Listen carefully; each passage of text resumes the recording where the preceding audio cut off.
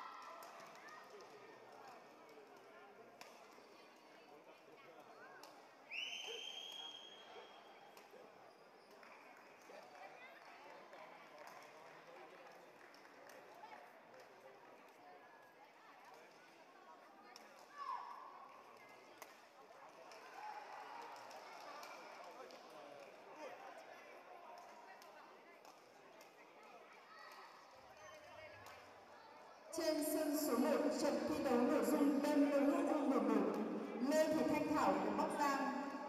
Của Thái Bình điều khiển trận đấu trọng tài chính qua lưới. Tống Thành Long. 16-4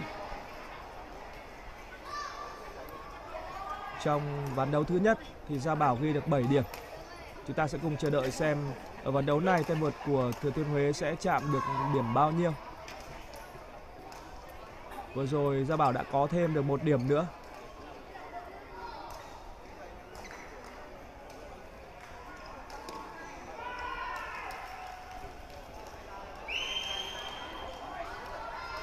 pha xử lý rất đẳng cấp của Đình Tâm. Điều cầu rất khó.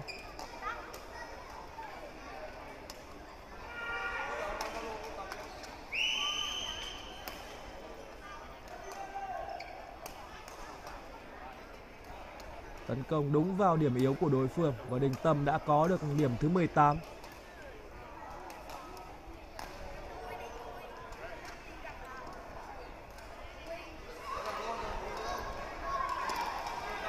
Vừa rồi cũng là một tình huống xử lý rất thông minh của Sa Bảo. Tay vợt của Thừa Thiên Huế đã khiến cho Đình Tâm phải rơi vào tình cảnh phong ngự với những tình huống điều cầu tốt của mình. Tỷ số bây giờ là 6-18. Cầu ngoài, đổi vào điểm dành cho Đình Tâm. Trên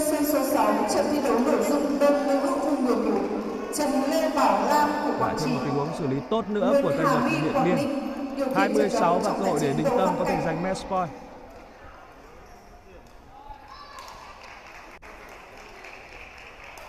Rất dễ dàng với chiến thắng dành cho Đình Tâm của Điện Biên sau hai ván đấu với thắng lợi rất áp đảo. Tay vợt của Điện Biên, hạt giống số 1 ở nội dung này đã vượt qua Gia Bảo với tỷ số 2-0, trong đó tỷ số các game lần lượt là 21-7 và 21-6. Với thắng lợi này thì Đình Tâm sẽ góp mặt Ban ở vòng tứ kết ờ, tại giải cầu lông các tay vợt thiếu niên trẻ xuất sắc quốc gia năm 2022 ở nội dung đơn nam lứa tuổi U11.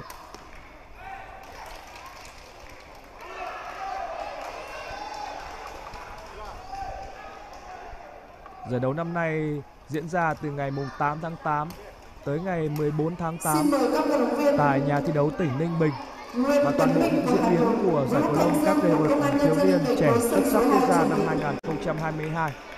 Quý vị đều có thể tìm kiếm theo dõi trên hệ sinh thái thể thao của VTV Cup. Các trận đấu đều sẽ được chúng tôi tường thuật trực tiếp trên các kênh fanpage On Sport, kênh YouTube, ứng dụng On Sport TV và những trận đấu quan trọng nhất quý vị có thể theo dõi trên cả các kênh truyền hình của chúng tôi.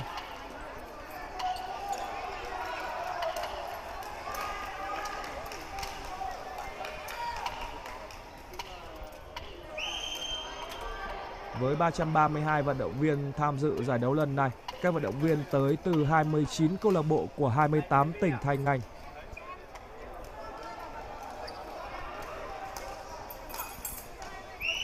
Ở giải đấu năm nay thì các vận động viên sẽ tranh tài ở các nhóm tuổi từ 6 đến 18 với các nội dung gồm có đơn nam, đơn nữ, đôi nam, đôi nữ và đôi nam nữ.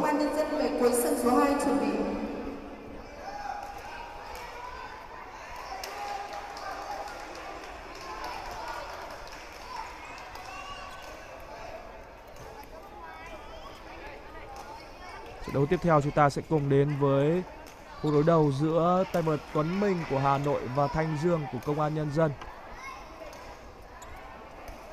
Cũng là trận đấu ở nội dung đơn nam lứa tuổi U11.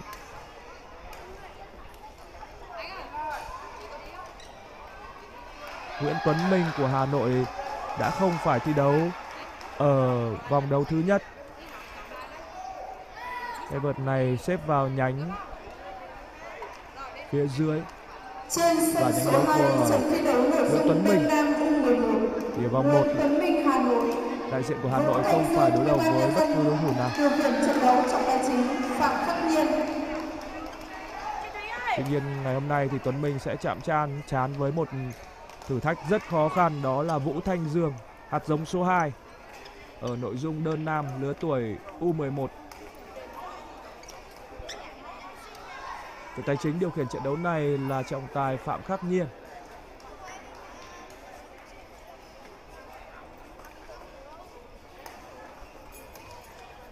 Ban tổ chức xin mời huấn luyện viên của đoàn Đồng Tháp về bàn ban tổ chức có việc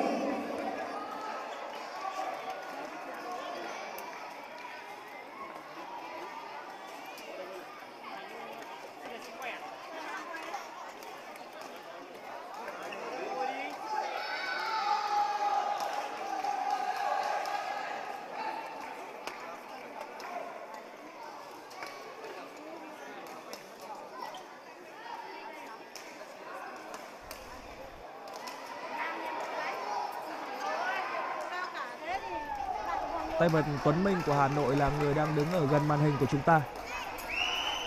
Người thi đấu trong trang phục áo đỏ quần đen. Sẽ về mặt thể hình thì Tuấn Minh có lợi thế hơn một chút so với Thanh Dương của Công an Nhân dân. Nhưng như trận đấu cách đây ít phút, chúng ta cũng th- có thể thấy lợi thế thể hình không thể giúp cho Gia Bảo làm nên bất ngờ trước hạt giống số 1 ở nội dung đơn nam lứa tuổi U11 là Đình Tâm. Và trong trận đấu này thì Thanh Dương là hạt giống số 2 của nội dung này.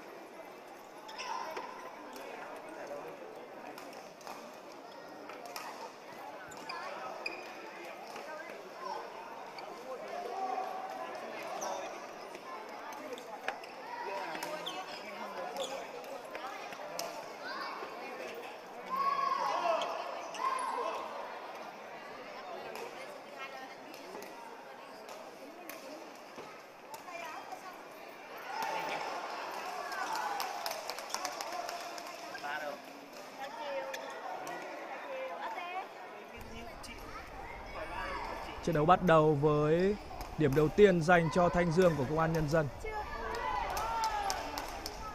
Tay vợt của Công an Nhân dân tiếp tục có thêm một điểm nữa.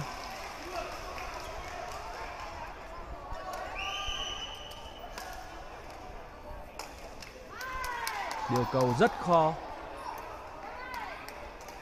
Pha xử lý cầu với cái cổ tay rất mềm mại của Thanh Dương, giúp cho tay vợt của Công an Nhân dân đang tạm dẫn với tỷ số 3-0. Cầu trong sân. Đó là một pha dứt điểm tốt của Thanh Dương. Trên sân số 5 trận thi đấu nội dung đơn nữ U11, Mai Thị Minh Hiền của Hải Phòng, Huỳnh Tuệ Nhi Trà Vinh điều khiển trận đấu trọng tài chính Nguyễn Vậy cuối cùng thì Tuấn Minh cũng đã có được điểm đầu tiên.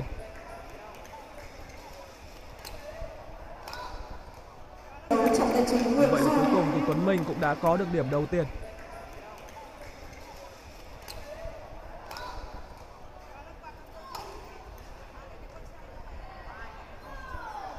Vừa rồi là một pha phong cầu rất hay của Thanh Dương. Đổi vào điểm dành cho tay vợt của Công an Nhân dân.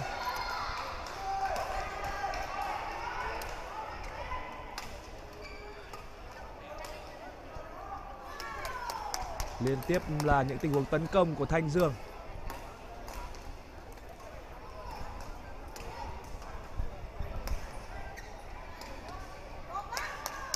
Xử lý rất tốt. Thanh Dương cũng rất xứng đáng là hạt giống số 2 ở nội dung này. Sau những gì mà Đình Tâm đã thể hiện trong trận đấu vừa qua. Đây sẽ là những ứng cử viên nặng ký cho ngôi vô địch ở nội dung đơn nam lứa tuổi U11 tại giải đấu năm nay.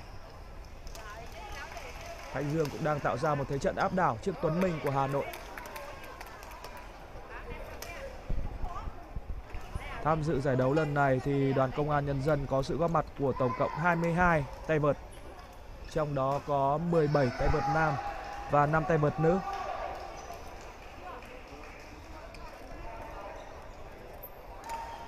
Hà Nội như thường lệ vẫn góp mặt với rất đông đảo các vận động viên với con số tổng cộng là 33, 26 nam và 7 nữ.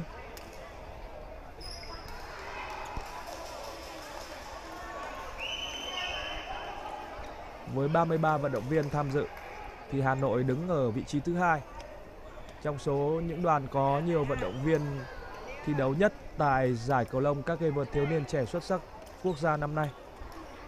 Đứng ở vị trí số 1 là đoàn Bắc Giang với 14 tay vợt nam, 22 tay vợt nữ, tổng cộng 36 vận động viên tham dự giải đấu lần này.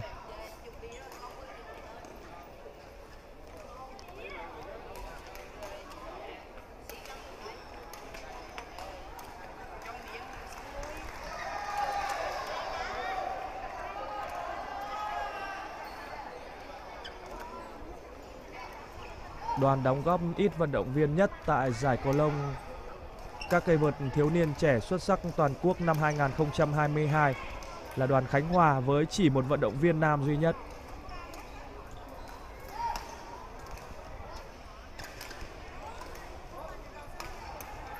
Thanh Dương đang tạo ra một thế trận quá lấn lướt trước Tuấn Minh của Hà Nội. Khoảng cách đang lên tới 10 điểm khi ván đấu mở màn vừa mới trôi qua nửa đầu.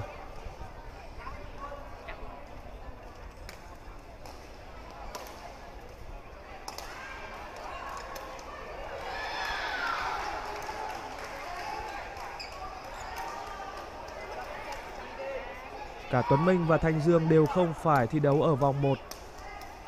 Ở lượt trận vòng 2 thì Thanh Dương đã đánh bại tay vợt Khôi Nguyên của Bắc Giang chỉ sau hai ván đấu để góp mặt ở vòng 3 này. Trong khi đó thì Tuấn Minh vượt qua tay vợt Lê Thành Tiến của Thanh Hóa. Người trước đó đã đánh bại Xuân Trường của Thừa Thiên Huế ở vòng 1. Tuấn Minh cũng vượt qua Thành Tiến của Thanh Hóa với tỷ số 2-0. Nhưng ngày hôm nay thì Tuấn Minh đang chạm trán với một đối thủ quá mạnh. Di chuyển rất linh hoạt và Thanh Dương đã có được thêm một điểm nữa để nâng tỷ số lên 17-3.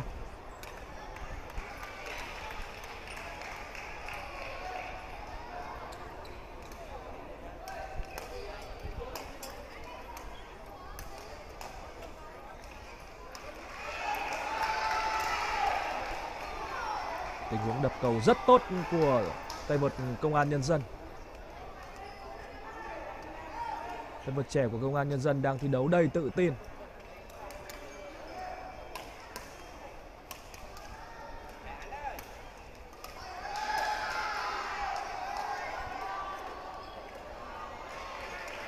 Và gài cầu ép trái của Tuấn Minh.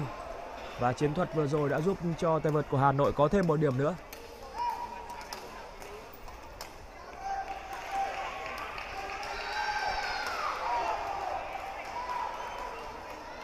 Trọng tài xác định cầu trong sân. Tỷ số là 6-18.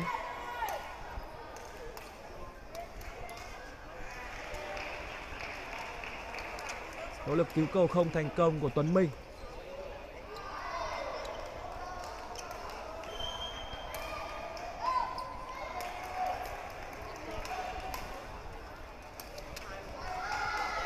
Thêm một lần nữa thì tay vợt của Hà Nội lại phải di chuyển khắp sân để phòng thủ trước những tình huống điều cầu khó chịu của đối phương. Và bây giờ thì có quá nhiều cơ hội để Thanh Dương có thể giành game point. Rất hay. Ván đấu mở màn nhanh chóng khép lại với phần thắng cách biệt dành cho hạt giống số 2 Thanh Dương. Tay vợt của Công an Nhân dân đã vươn lên dẫn trước sau khi giành chiến thắng ở game mở màn với tỷ số 21-6. Cũng là một game thắng áp đảo khá giống với những gì mà Đình Tâm, hạt giống số 1 vừa thể hiện trong trận đấu cách đây ít phút. Sẽ là rất lý tưởng nếu như Thanh Dương và Đình Tâm chạm trán nhau trong trận đấu cuối cùng ở nội dung đơn nam lứa tuổi U11 tại giải cầu lông các cây vợt thiếu niên trẻ xuất sắc quốc gia năm 2022 tranh cúp Donetsk Giải đấu này diễn ra tại nhà thi đấu tỉnh Ninh Bình và các khán giả đang ở gần khu vực nhà thi đấu tỉnh Ninh Bình có thể tới đây cổ vũ cho các tay vợt trẻ của chúng ta. Giải đấu này diễn ra từ ngày mùng 8 tới ngày 14 tháng 8. Và hầu hết các tay vợt đều tranh tài trong hai buổi thi đấu, buổi sáng thi đấu tới quãng thời gian trưa và buổi chiều, bắt đầu từ đầu giờ chiều thi đấu tới thời điểm tối. Rất nhiều trận đấu đang diễn ra trên các sân khác nhau. Và lúc này thì chúng ta đang cùng theo dõi cặp đấu ở nội dung đơn nam lứa tuổi U11 với sự góp mặt của tay vợt hạt giống số 2 đó chính là Vũ Thanh Dương của Công an Nhân dân cầu ngoài tương đối bất ngờ khi Tuấn Minh đang nhập cuộc tốt ở game đấu này với hai điểm liên tiếp.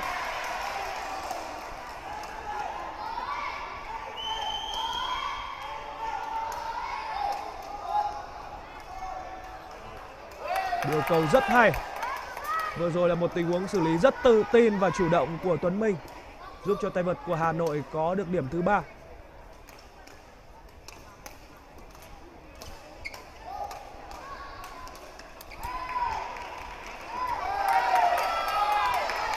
Rồi có cảm giác là cầu đang hướng ra ngoài sân.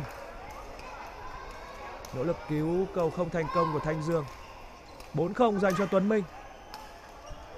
Tiếp tục là một tình huống xử lý đưa cầu ra ngoài nữa của tay vợt công an nhân dân.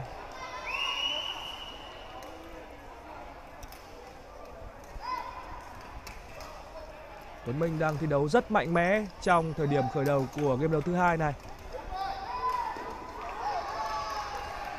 Với các tay vợt trẻ khi mà tâm lý thi đấu chưa được rèn rũa nhiều. Thì bên cạnh yếu tố chuyên môn, tâm lý cũng là một yếu tố rất quan trọng.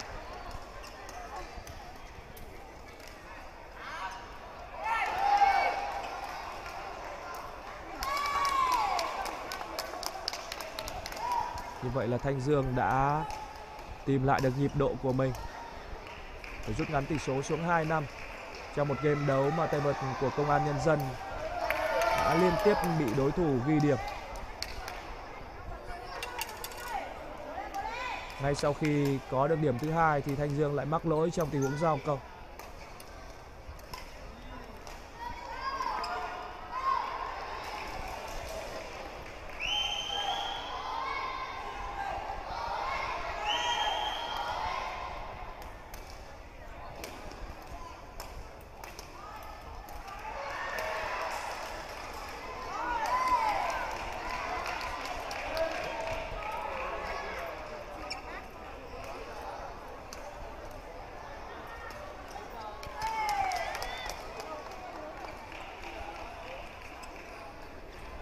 Rồi là pha xử lý không được cầu đi qua lưới của Tuấn Minh. Tỷ số bây giờ là 3-6.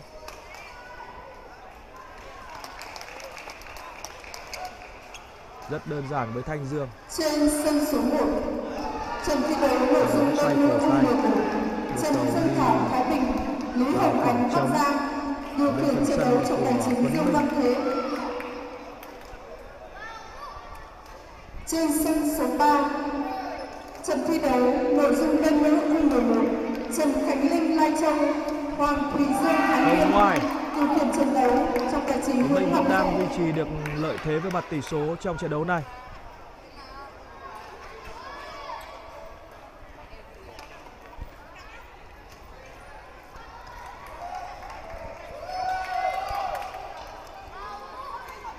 Cách biệt bây giờ đang là 4 điểm. Thật sự là bất ngờ với những gì đang diễn ra ở game đấu thứ hai. Nếu như chúng ta theo dõi một màn trình diễn áp đảo của Thanh Dương trước Tuấn Minh ở game đấu mở màn. Có vẻ như những sự điều chỉnh tới từ ban huấn luyện của Hà Nội đã giúp Tuấn Minh lấy lại sự tự tin và thi đấu tốt hơn trong ván đấu này. Tuấn Minh nhập cuộc tốt ghi 5 điểm liên tiếp, dẫn trước Thanh Dương 5-0 và bây giờ thì vẫn đang duy trì được cách biệt là 4 điểm. Nhưng vừa rồi là một tình huống giao cầu không tốt của tay vợt Hà Nội. Đổi vào điểm dành cho Thanh Dương.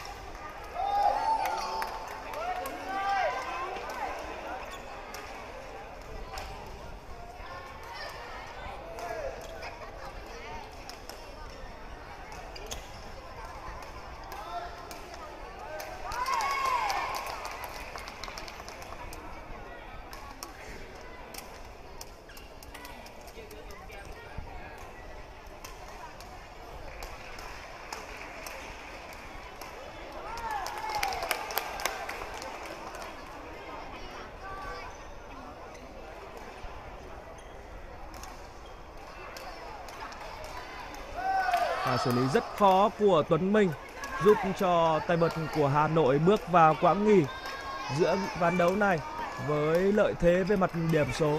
Mặc dù lợi thế là không lớn, nhưng đây là một tín hiệu tích cực dành cho tay vợt trẻ của Hà Nội. Sau một game đấu mà anh đã để thua với cách biệt rất lớn.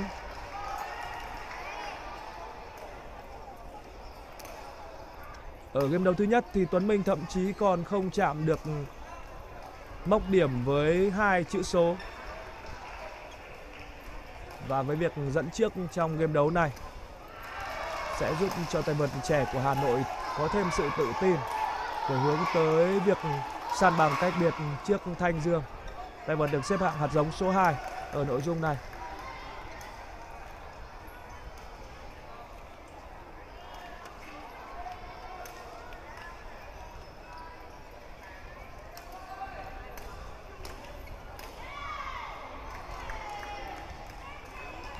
Trên sân số 6, trận thi đấu nội dung đơn nữ U11, Phạm Thị Hà Chi của Bắc Giang, Đinh Khánh Bảo Thi của Đà Nẵng điều khiển trận đấu trọng tài chính Kiều Anh Tuấn.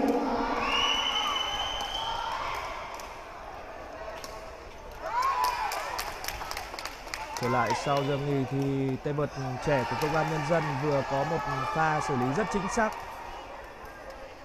Cách biệt giữa hai người đang chỉ còn là một điểm thôi. Và tỷ số được san bằng 11 đều. Cũng sẽ là rất khó cho Tuấn Minh nếu như Thanh Dương lấy lại được nhịp thi đấu của mình.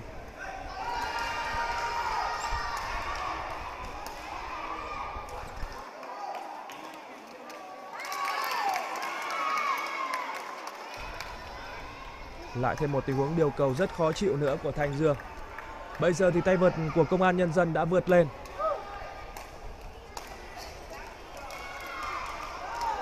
Cầu trong sân. Có tình huống xử lý rất chất lượng của tay vợt trẻ bên phía công an nhân dân. Tỷ số bây giờ là 13-11.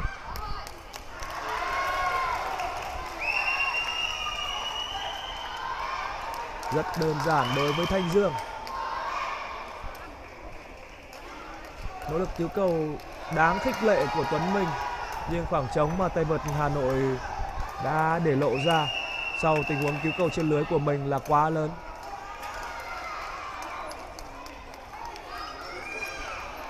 Thanh Dương đang ghi điểm liên tiếp từ con số 9. Bây giờ thì tay vợt trẻ của Công an Nhân dân đã có được 6 điểm liên tiếp sau quãng nghỉ giữa ván đấu. Nhưng vừa rồi thì Thanh Dương đã có tình huống được cầu ra ngoài, đổi vào điểm dành cho Tuấn Minh. Xử lý cầu tốt.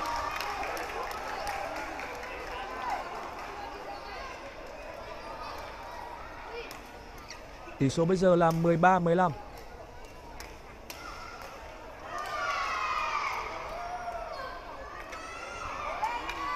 Cầu đã không leo lưới trong tình huống vừa rồi.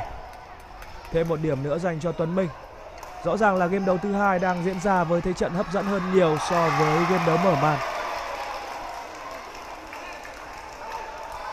Việc Tuấn Minh chơi tốt và tự tin cũng giúp cho trận đấu này đang trở nên hấp dẫn hơn. Vâng, đề nghị với sân số 4 các vận động viên không thi đấu lên khu vực khán đài. Các trọng tài không làm nhiệm vụ về khu vực của trọng tài.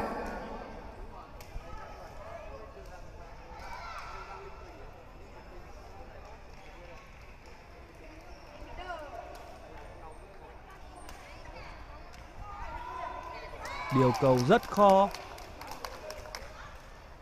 Đổi vào điểm dành cho tay vợt trẻ của Công an Nhân dân.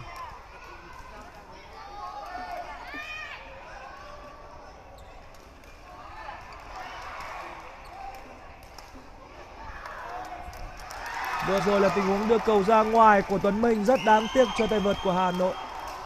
Một cơ hội tốt khi Tuấn Minh đã chủ động lên lưới.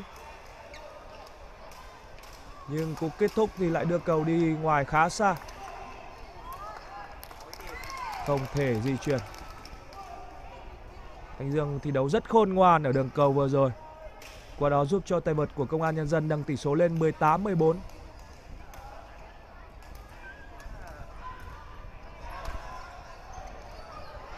Trả giao cầu tốt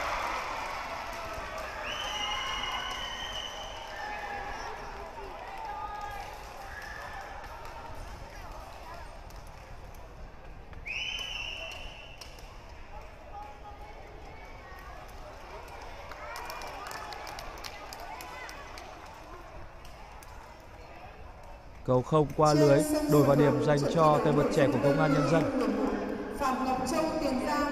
Thêm một điểm nữa được ghi và Thanh Dương đang đứng trước cơ hội để có thể giành match point.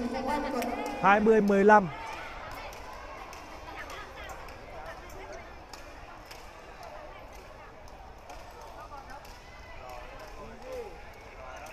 Rất hay.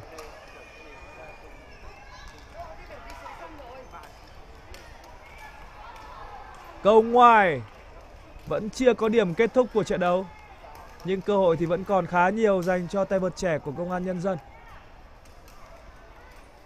Tỷ số vẫn đang là rất lợi thế cho Thanh Dương khi khoảng cách giữa hai tay vợt là 4 điểm.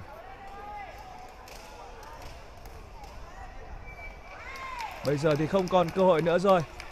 Tuấn Minh đã phải chấp nhận dừng cuộc chơi của mình ở nội dung đơn nam lứa tuổi U11 tại giải đấu năm nay sau khi thua hạt giống số 2 Thanh Dương của Công an Nhân dân.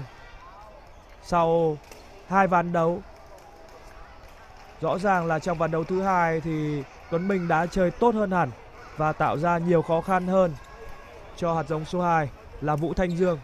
Nhưng tay vợt của Công an Nhân dân vẫn xuất sắc để giành chiến thắng với tỷ số 21-16. Trước đó thì Thanh Dương đã vượt qua Tuấn Minh ở game đấu mở màn với tỷ số là 21-6. Với thắng lợi này thì Thanh Dương cũng sẽ góp mặt ở vòng tứ kết. Hạt giống số 2 và hạt giống số 1 là hai tay vợt được xếp ở hai nhánh khác nhau. Nếu như Nguyễn Đình Tâm được xếp ở nhánh top tức là nhánh phía trên. thì Nguyễn Thanh Dương được phân ở nhánh bottom là nhánh dưới. Và nếu như hai tay vợt này giữ vững được phong độ của mình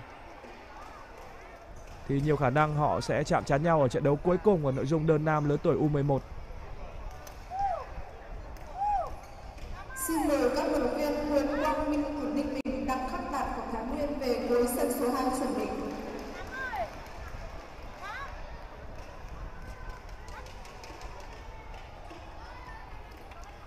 Tiếp theo chúng ta sẽ cùng đến với vòng đấu thứ hai.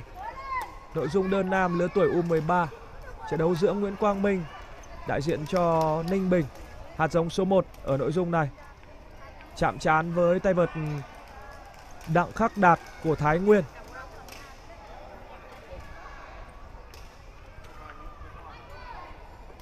Xin mời hai vận động viên Nguyễn Quang Minh của Ninh Bình, Đặng Khắc Đạt của Thái Nguyên về cuối sân số 2 chuẩn bị.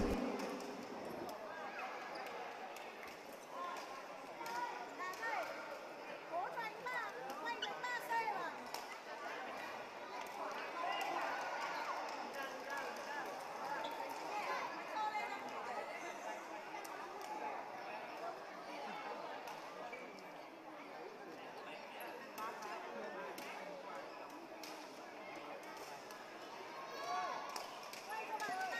nhá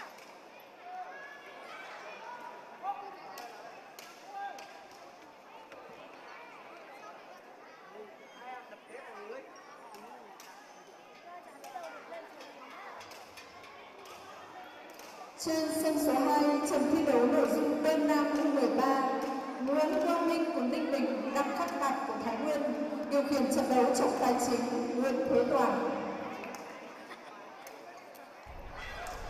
Trọng tài, Nguyễn Thế Toàn sẽ là người điều hành trận đấu này. Trận đấu ở nội dung đơn nam lứa tuổi U13. Khoảng cách 2 tuổi và chúng ta có thể dễ dàng nhìn ra các vận động viên ở lứa tuổi U13 đã có thể hình tốt hơn rất nhiều so với các em ở lứa tuổi U11.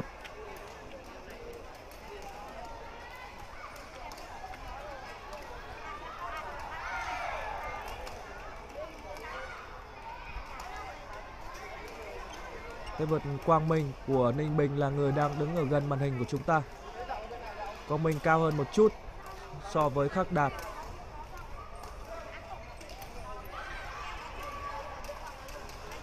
Lợi thế chiều cao với sải tay dài và những tình huống lợi thế khi đập cầu cũng là một yếu tố quan trọng với các vận động viên ở lứa tuổi trẻ này. Tuy nhiên trong cả hai trận đấu đã qua thì những tay vợt có chiều cao tốt hơn đều đã không thể làm nên bất ngờ trước những hạt giống hàng đầu ở nội dung đơn nam lứa tuổi U11. Nguyễn Đình Tâm đã dễ dàng góp mặt ở vòng tứ kết sau khi vượt qua Gia Bảo của Thừa Thiên Huế, một tay vợt có thể hình tốt hơn so với Đình Tâm. Và tương tự như vậy, Thanh Dương cũng đã giành chiến thắng trước tay vợt Tuấn Minh ở vòng đấu thứ ba để ghi tên mình vào tứ kết. Bây giờ thì thử thách của Đặng Khắc Đạt, tay vợt của Thái Nguyên, người đang đứng ở xa màn hình chúng ta, sẽ là một thử thách khó khăn. Khi Khắc Đạt phải đối đầu với hạt giống số 1 ở nội dung đơn nam lứa tuổi U13 là Nguyễn Quang Minh.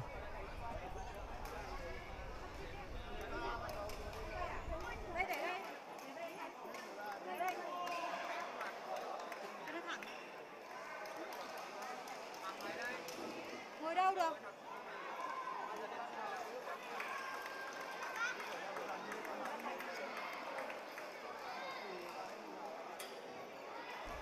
Trận đấu sẽ bắt đầu với tình huống giao cầu của Khắc Đạt.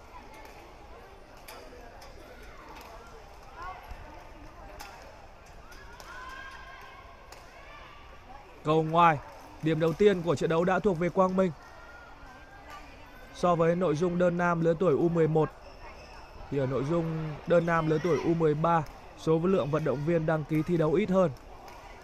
Do đó cũng ít hơn một vòng đấu so với nội dung vừa rồi tức là sẽ không có vòng đấu thứ ba. Chúng ta đang đến với những diễn biến tại vòng 2 và tay vợt nào giành chiến thắng ở cặp đấu này sẽ ngay lập tức góp mặt ở vòng tứ kết.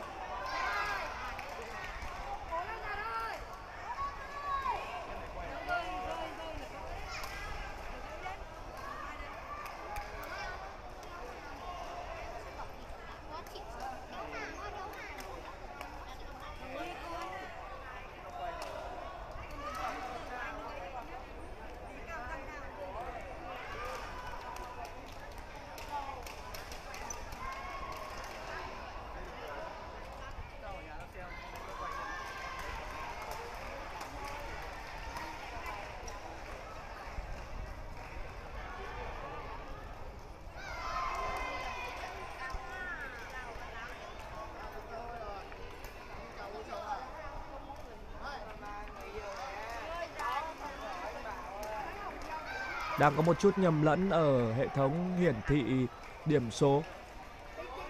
Lúc này thì tay vợt Nguyễn Quang Minh đang dẫn trước với tỷ số 6-1.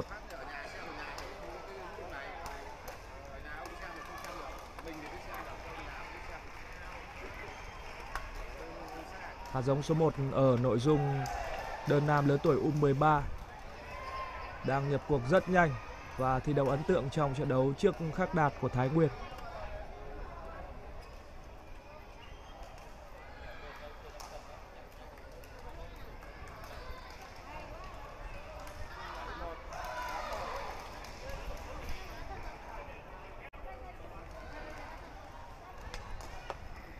Cái trận này không phải đầu tiên với trận của Thành đâu. Trận này không phải đầu tiên với trận của Thành đâu. 8-1 rồi. Không phải cứ bình tĩnh lên nào thôi. Bình tĩnh chả ăn được.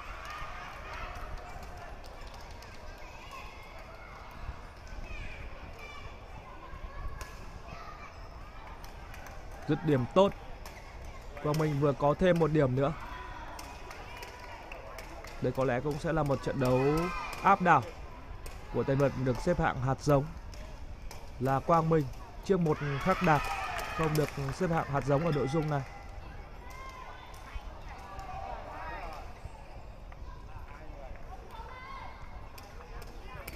Đổi vào điểm dành cho tay vợt của Thái Nguyên. Tỷ số bây giờ là 20 và như vậy là nửa đầu của game 1 cũng đã khép lại. Với lợi thế rất lớn dành cho hạt giống số 1 Quang Bình. Tay vợt của Ninh Bình đang dẫn trước với khoảng cách lên tới 9 điểm.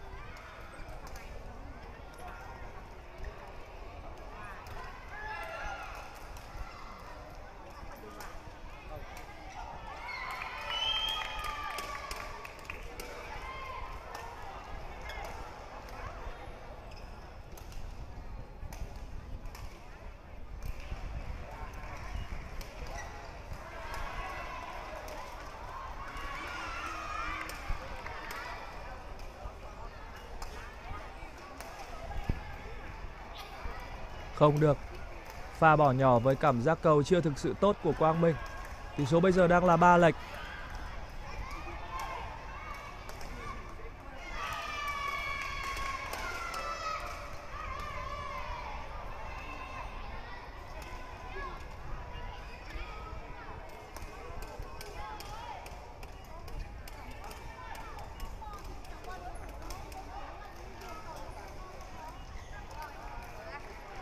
Vẫn điều cầu rất chủ động. Có cảm giác tay vợt của đoàn chủ nhà Ninh Bình vẫn đang chưa chơi hết sức của mình.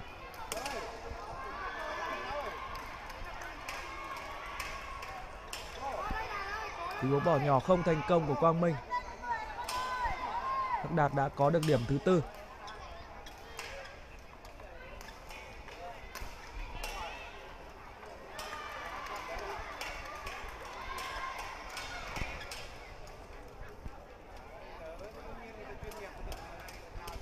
Cầu ngoài. 15-4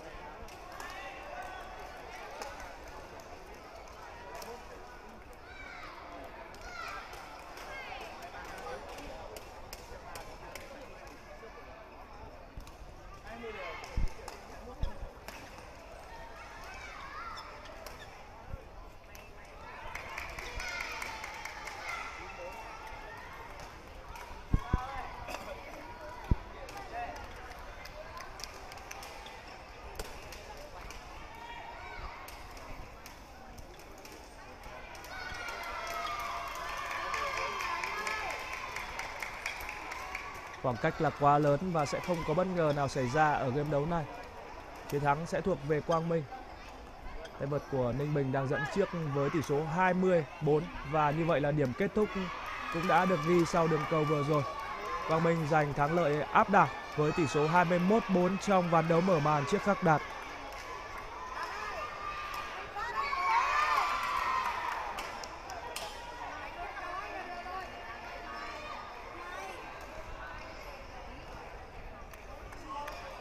Ở nội dung đơn nam lứa tuổi U13 thì Quang Minh đã đánh bại tay vợt Minh Khang ở vòng 1.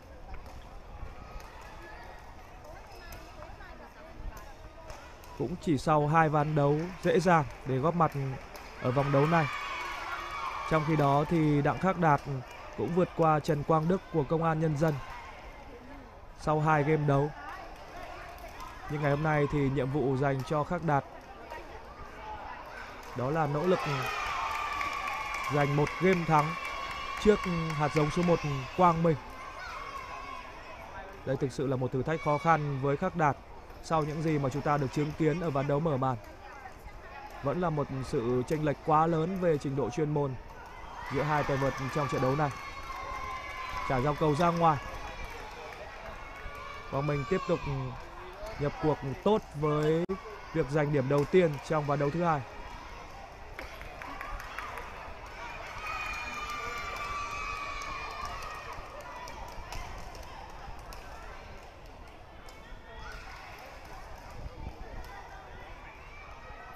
những tình huống điều cầu của Quang Minh rất khó và điều cầu vừa rồi thì Khắc Đạt đã không thể phòng ngự thành công. Hai không nghiêng về phía tay vợt của Ninh Bình.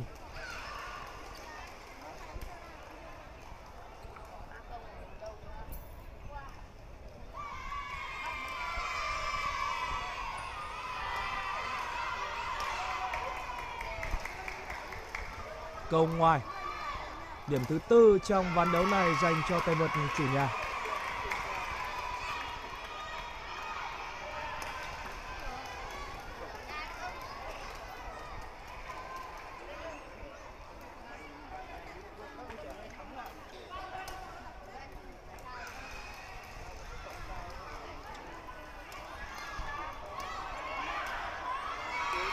Không qua lưới và như vậy là cuối cùng thì Khắc Đạt cũng đã có được điểm đầu tiên ở game thứ hai.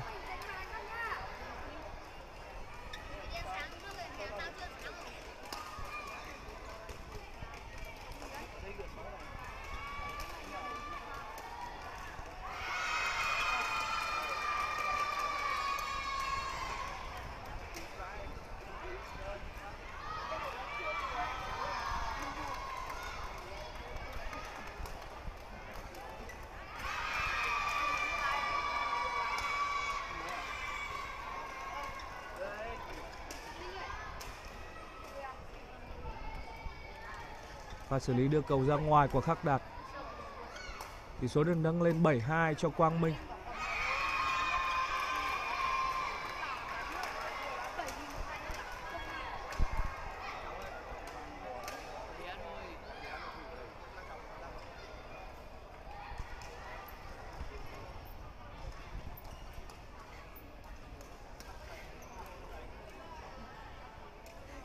Vừa rồi là tình huống xử lý không được cầu đi qua lưới của Khắc Đạt. Sẽ tiếp tục là một ván thắng dễ dàng và trong bánh của Quang Minh trước Khắc Đạt của Thái Nguyên. Đương nhiên là trong trận đấu này thì hạt giống số 1 cũng không bung hết sức của mình.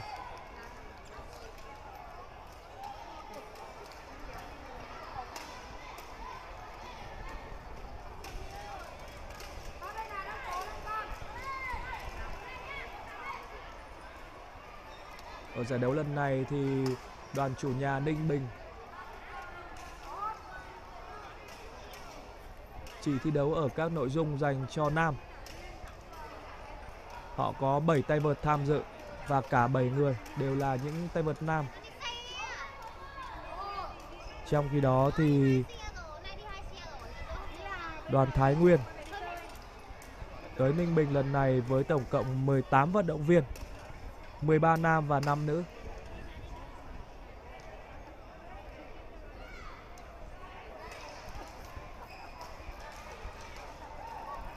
Hai tay vợt bước vào quãng nghỉ của game đấu thứ hai với lợi thế 6 điểm dành cho Quang Minh của Ninh Bình.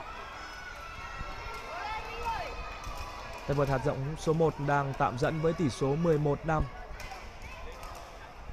Và với cục diện như thế này thì Quang Minh sẽ dễ dàng hướng tới chiến thắng 2-0 trong trận đấu tại vòng hạ- vòng 2, nội dung đơn nam lứa tuổi U13.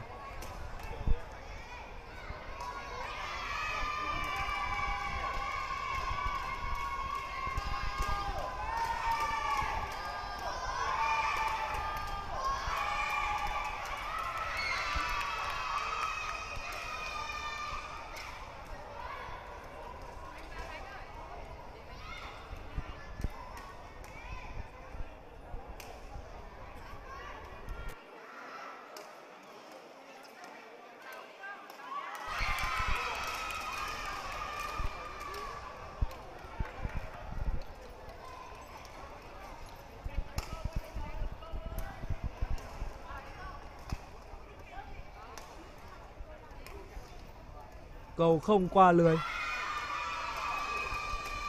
Số điểm mà Quang Minh có được trong game đấu này đã gấp đôi so với Khắc Đạt.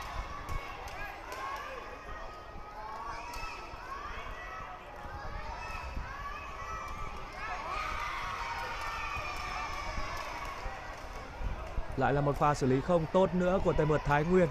Sức ép là quá lớn khiến cho Khắc Đạt cũng không thể chơi tốt nhất với khả năng của mình.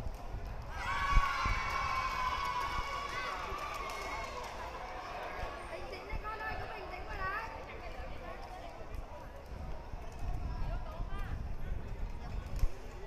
Trên sân số 4, trận thi đấu đơn nam U13, Ninh Quang Cấp của Lào Cai, Ngô Lê Quang Nhân của thành phố Hồ Chí Minh điều khiển trận đấu trọng tài chính Tống Thành Long.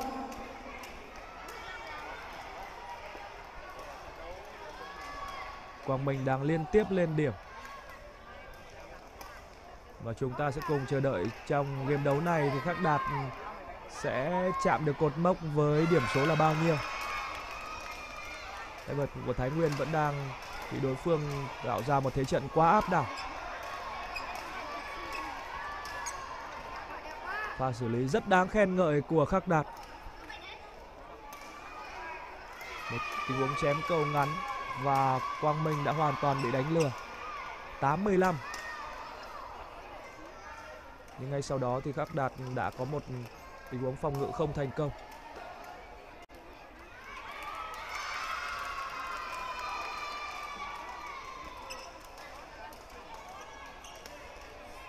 Rất hay. Rõ ràng là trong ván đấu này thì Khắc Đạt đã chơi tốt hơn hẳn so với game đấu mở màn.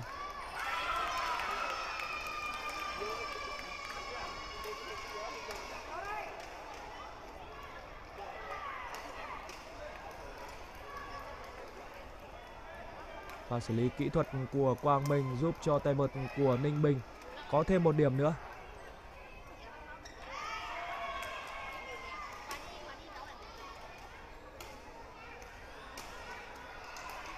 Cầu không qua lưới 18-9 Lại là điểm số gấp đôi một lần nữa dành cho Quang Minh trong ván đấu này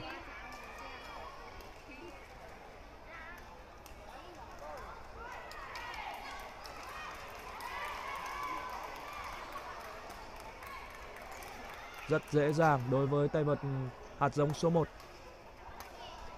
Tỷ số bây giờ đang là 9 lệch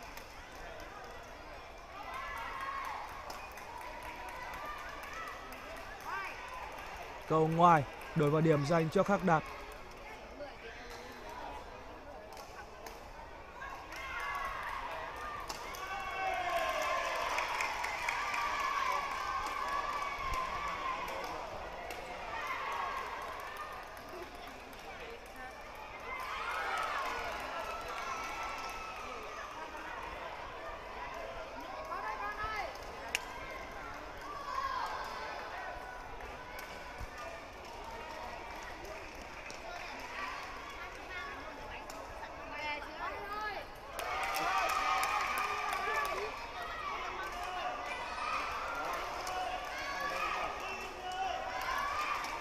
Cộ giành match point cho Quang Minh. Rất dễ dàng, tay vợt của Ninh Bình đã có được chiến thắng trong trận đấu với Khắc Đạt của Thái Nguyên cũng chỉ sau hai ván đấu. Ở ván thứ hai thì Khắc Đạt đã chơi tốt hơn. Nhưng như vậy là chưa đủ để tạo nên bất ngờ trước hạt giống số 1 ở nội dung đơn nam lứa tuổi U13 và Quang Minh sẽ đi tiếp vào vòng tứ kết ở nội dung này sau chiến thắng trước Hắc Đạt ở hai ván với Tỷ số các game đấu lần lượt là 21-4 và 21-12. Với CC2 chuẩn bị.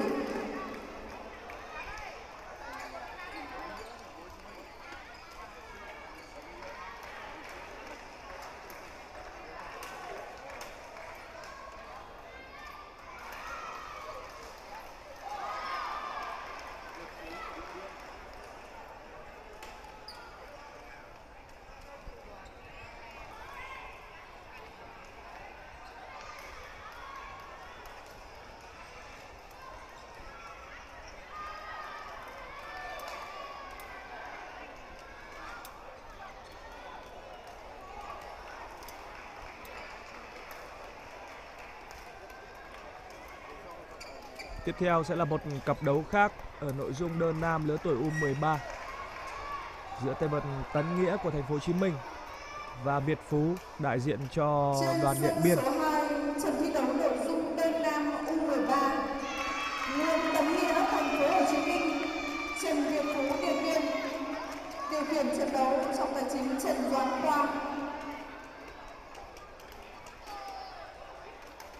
Tài chính điều khiển trận đấu này sẽ là ông Trần Doãn Khoa. Nguyễn Tấn Nghĩa của thành phố Hồ Chí Minh cũng là tay vợt nằm trong nhóm hạt giống hàng đầu ở nội dung này. Ở vòng 1 thì Tấn Nghĩa đã vượt qua Minh Tuấn của Bắc Giang.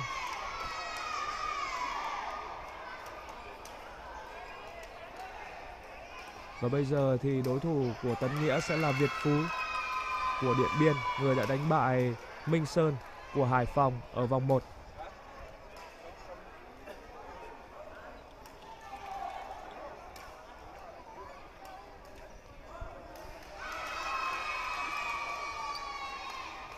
Trần Việt Phú là tay vợt đứng ở gần màn hình của chúng ta lúc này. Có thể thấy hai tay vợt ở cặp đấu này có thể hình san san nhau. Hy vọng đây sẽ là một trận đấu cân tài cân sức giữa Tấn Nghĩa và Việt Phú.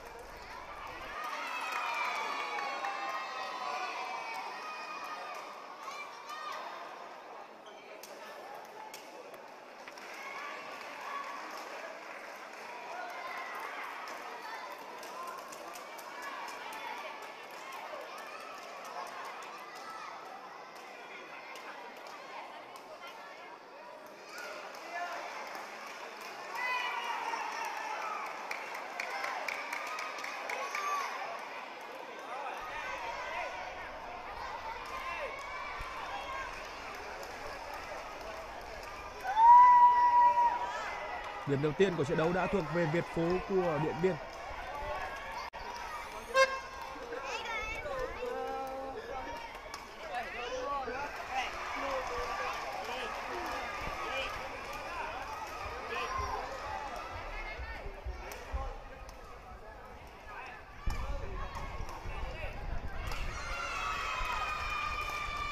Trọng tài xác định cầu trong sân. Một tình huống không cầu dài về phía cuối sân đã giúp cho Tấn Nghĩa có được điểm đầu tiên trong trận đấu này.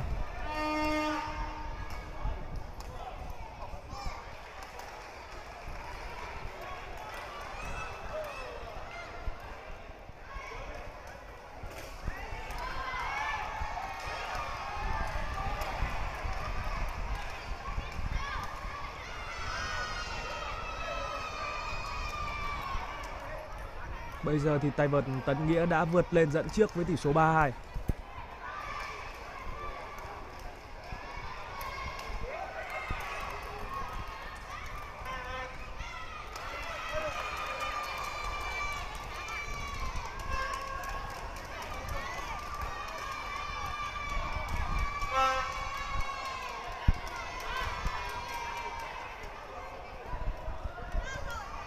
Trọng tài xác định cầu ngoài. Tỷ số được sân bằng 4 đều. Ở những điểm đầu tiên của cặp đấu này thì hai tay vợt đang chơi với một thế trận khá cân bằng. Hứa hẹn đây sẽ là một trận đấu hấp dẫn hơn, không phải là một thế trận một chiều như những trận đấu mà chúng ta đã theo dõi trong buổi sáng ngày hôm nay với nội dung đơn nam lứa tuổi U11 cũng như cặp đấu đầu tiên ở nội dung đơn nam lứa tuổi U13 vừa qua.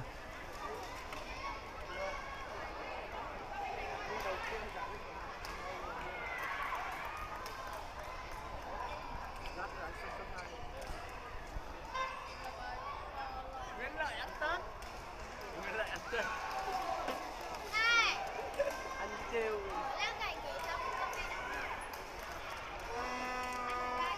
đâu.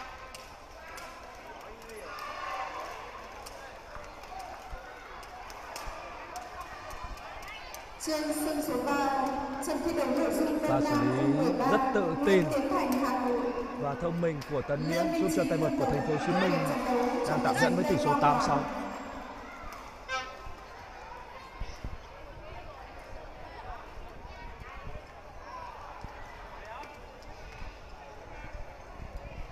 Hai tay vợt vẫn đang chơi giằng co giành nhau từng điểm một. Chưa có tay vợt nào có thể tạo ra lợi thế đủ lớn để nghĩ tới việc có một thắng lợi dễ dàng trong ván đấu mở màn này. 8 đều rồi.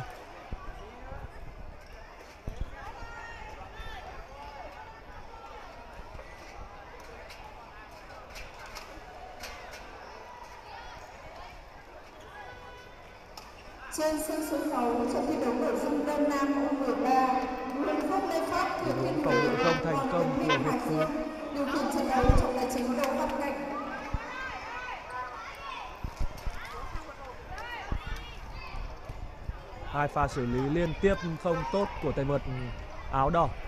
Và bây giờ thì Tấn Nghĩa đang dẫn trước với tỷ số 18.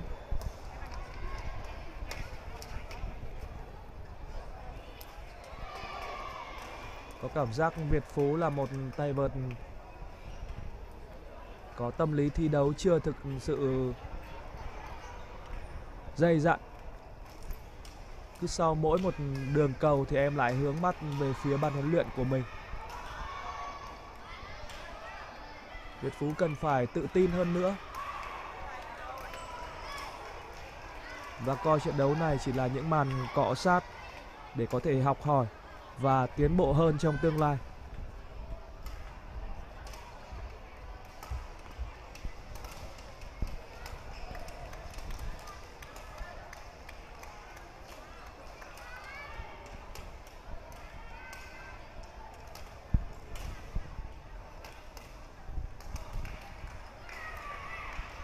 Giải cầu lông các cây vợt ừ, thiếu niên trẻ xuất sắc quốc gia năm 2022 cũng có sự góp mặt của rất nhiều những vận động viên đã có tên tuổi của cầu lông Việt Nam. Mặc dù đều là những vận động viên trẻ, trong đó có thể kể đến những cái tên như Trần Lê Mạnh An của Đồng Nai, Trần Quốc Khánh của Bắc Giang, Nguyễn Văn Mai, Nguyễn Minh Hiếu hay là Bùi Bích Phương của Hà Nội, Nguyễn Thị Ánh của Thái Bình và Phạm Thị Ngọc Mai của Hải Phòng.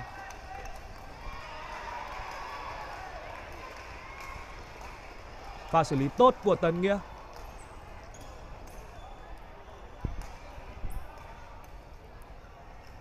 Tay vợt của thành phố Hồ Chí Minh đang tạm dẫn với tỷ số 14-8.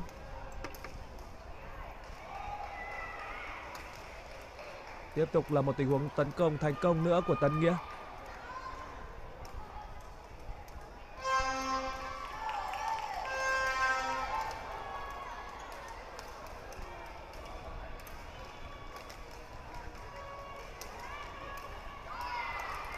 Sau khi có đã có được nhịp thi đấu thì Tấn Nghĩa đang chơi rất tự tin với những tình huống di chuyển linh hoạt điều cầu thông minh của mình.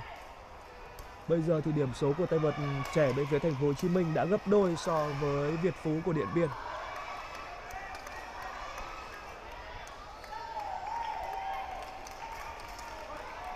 Cầu không qua lưới, đổi vào điểm dành cho Việt Phú.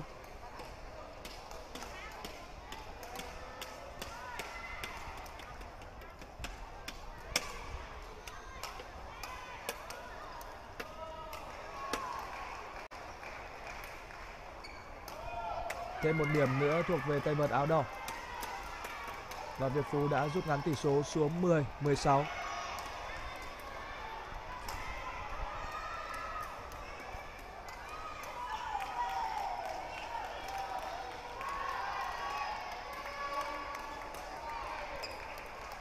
Rất dễ dàng cho Tấn Nghĩa.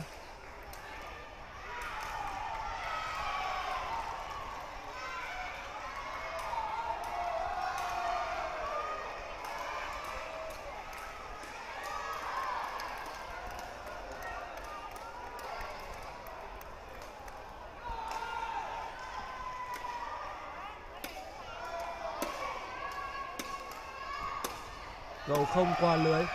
Điểm thứ 19 cho tay vợt của thành phố Hồ Chí Minh.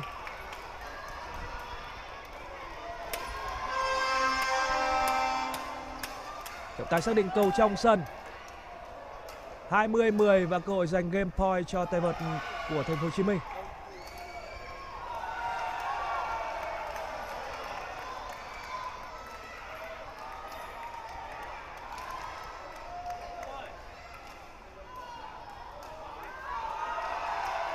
Vừa rồi thì Việt Phú đã có một pha xử lý rất tinh tế. Cảm giác cầu tốt với pha bỏ nhỏ vừa rồi.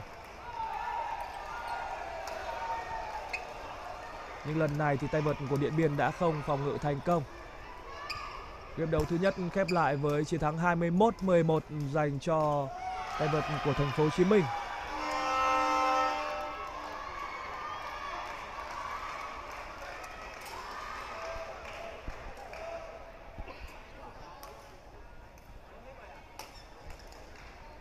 khoảng cách 10 điểm.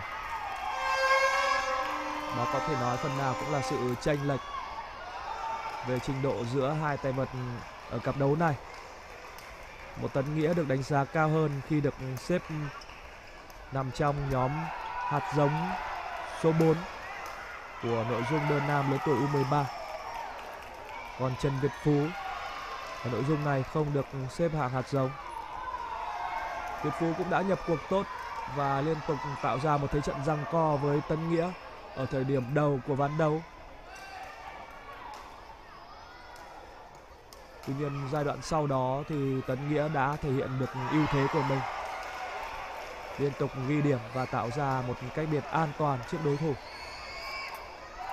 Đó cũng là lúc mà tâm lý thi đấu của Việt Phú bị dao động và không duy trì được sự tập trung cần thiết.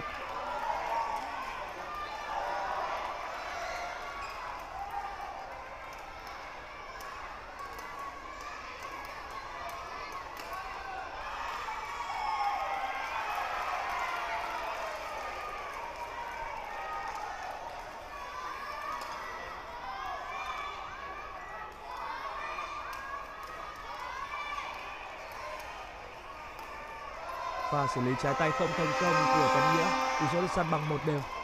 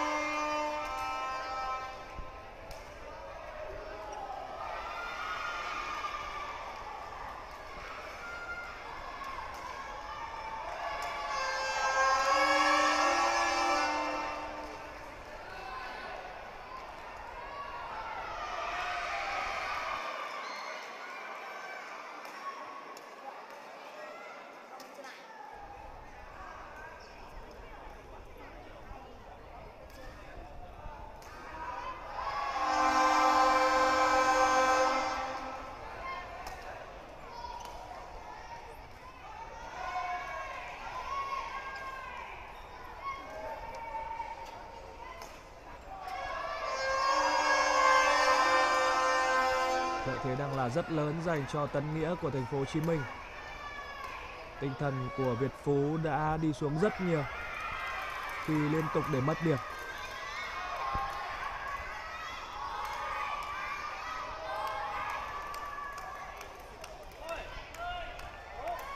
Vừa rồi là một tình huống chém cầu rất hay của tay vợt trẻ bên phía thành phố Hồ Chí Minh. Tỷ số bây giờ đã là 9-1.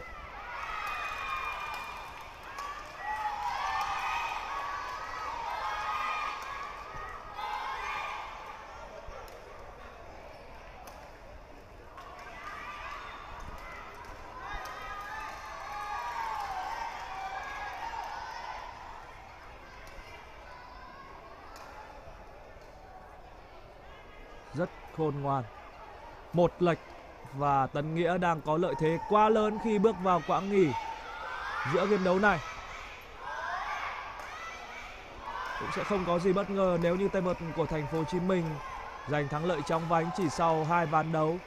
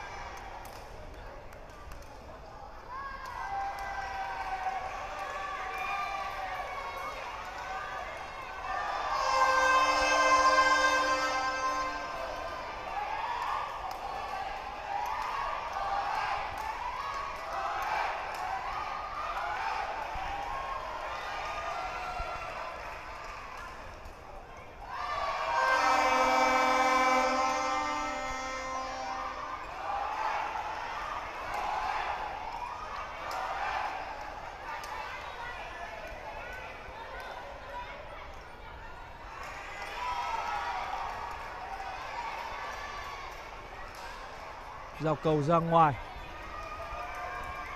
Điểm thứ 14 dành cho Tân Nghĩa trong ván đấu này.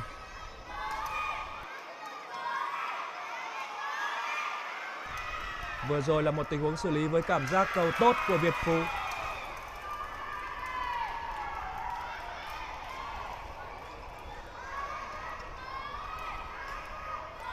Việt Phú khá bị động sau tình huống giao cầu và tay vợt của Điện Biên đã để mất điểm.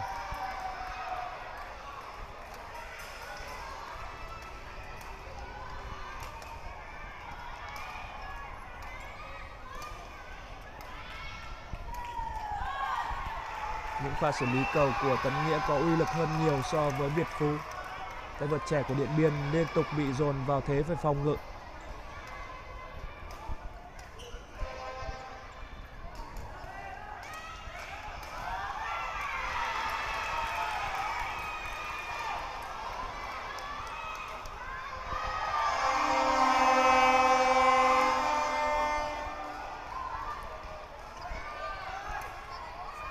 Nhỏ thành công của Tân Nghĩa. Tay vợt trẻ của thành phố Hồ Chí Minh đã nâng tỷ số lên 17-4.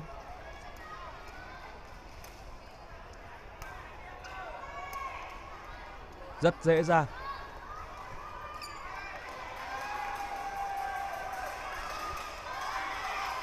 Đó là sự chênh lệch về trình độ chuyên môn.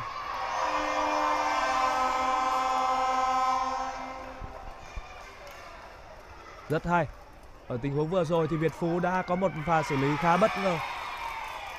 Tỷ số bây giờ là 5 18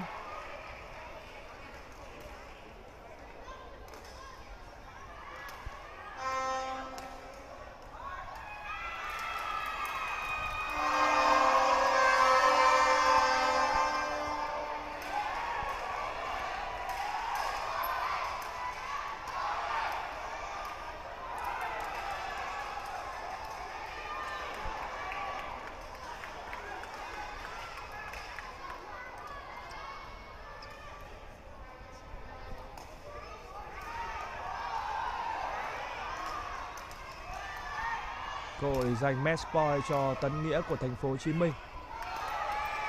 Cầu ra ngoài và điểm cuối cùng đã được ghi dành cho tay vợt hạt giống ở nội dung đơn nam lứa tuổi U13.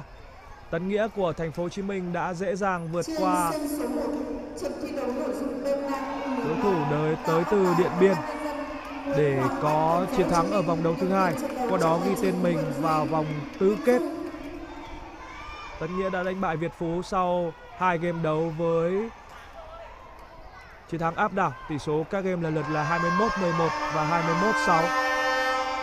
Xin mời các vận động viên người sân Minh Trí Ở những trận đấu đã qua thì chúng ta chưa được chứng kiến bất cứ một bất ngờ nào khi những tay vợt được đánh giá cao hơn là những người được xếp hạng hạt giống đều đã có được thắng lợi để ghi tên mình vào vòng đấu tiếp theo.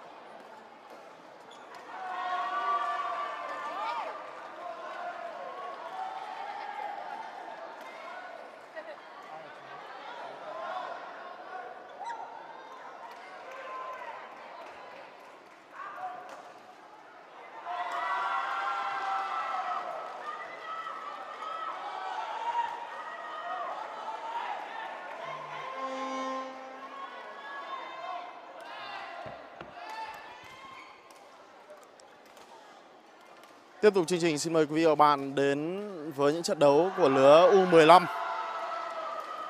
Một trận đấu mà chúng ta có thể thấy phân biệt rất rõ về mặt thể hình chênh lệch với nhau, như là gã khổng lồ Goliath và David vậy. Minh Chí của Hải Phòng gặp Minh Đức của Điện Biên. Minh Chí trong màu áo đen, trong khi đó thì Minh Đức trong bộ màu áo xanh ở sát màn hình nhỏ của quý vị và các bạn hơn. Sự tranh nhau về mặt thể hình là rất rõ và sự tranh nhau về mặt thực lực cũng thể hiện rất rõ qua những điểm số đầu tiên. Đây có thể nói là cặp đấu tranh nhau về mặt thể hình lớn nhất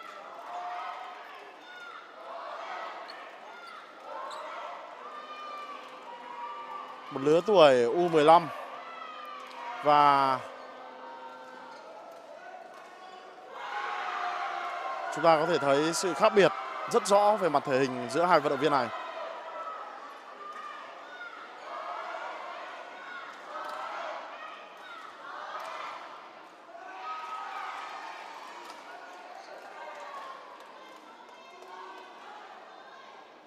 Pha bỏ nhỏ tốt. 5-2 cho Minh Trí của Hải Phòng.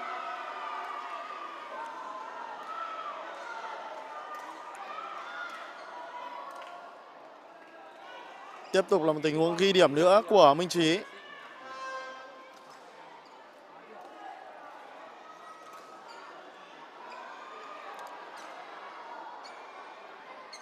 bảy hai cho vận động viên của Hải Phòng. Pha đập quá mạnh và không cho đối phương một cơ hội nào. 8-2, thể hình vượt trội, sải chân dài. Đã là lợi thế rất lớn của Minh Trí rồi.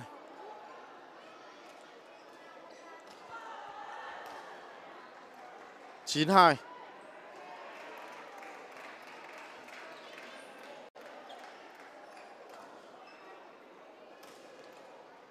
Cú rờ ve không thành công của minh trí.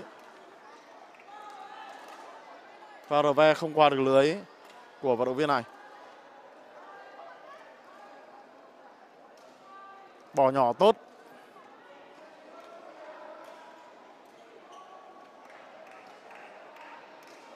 Mười ba.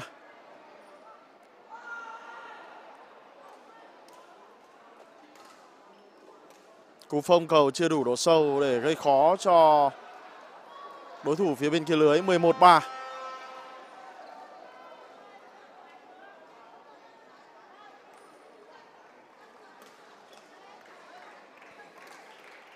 Và sáng ngày nay thì chúng ta tiếp tục được chứng kiến những trận đấu ở vòng 3 những trận đấu mà các vận động viên nếu giành chiến thắng sẽ có được tấm vé vào tứ kết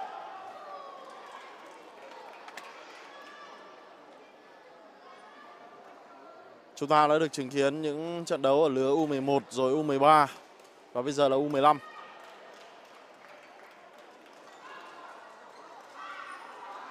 Tuy nhiên, vận động viên của Điện Biên là Minh Đức thì có vẻ như là một vận động viên của lứa U13 vậy.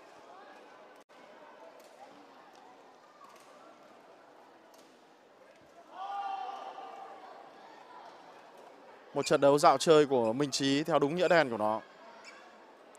13 3. 14 3. Từ đầu sáng giờ chúng ta cũng thấy nhiều trận đấu đã có một sự chênh lệch rất rõ giữa những cuộc đối đầu của các hạt giống số 1 và hạt giống số 2 khi đối đầu với những đối thủ khác và sự chênh lệch là điều rất rõ ràng.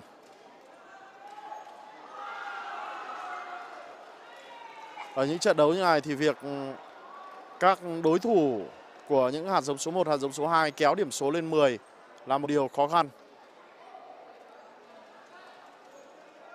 Pha đánh và cạnh vợt và đi ra bên ngoài sân. 17-3.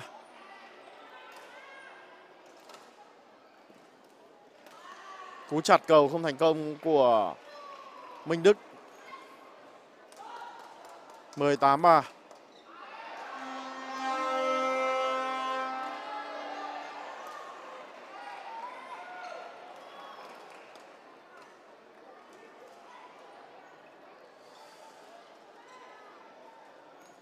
Mười chín ba.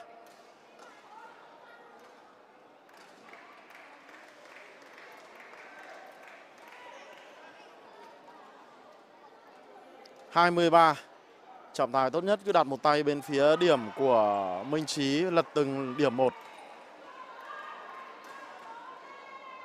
Game Boy và điểm số cho vận động viên của Hải Phòng 21-3 rất dễ dàng.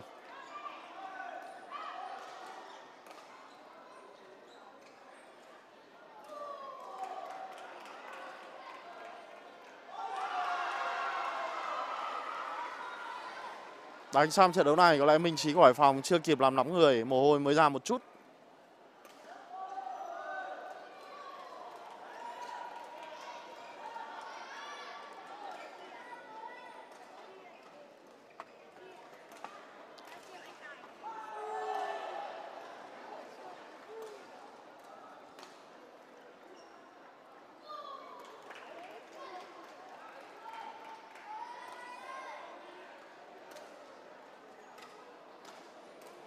Chúng ta hãy cùng đến với game thứ hai.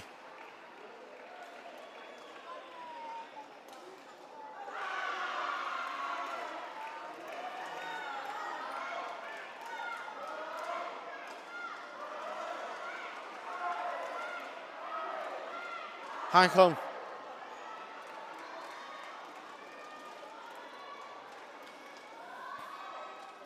Chúng ta có thể thấy Minh Trí cũng chẳng vẻ hào hứng gì với trận đấu này cả. 3-0.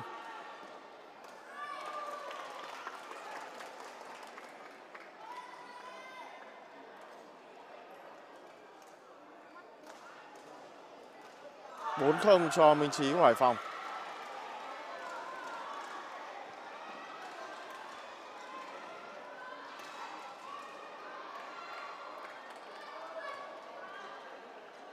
năm không rồi.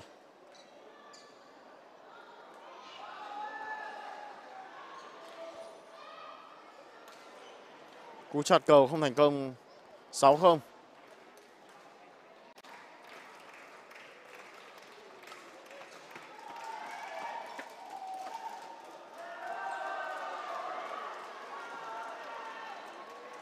Bảy không.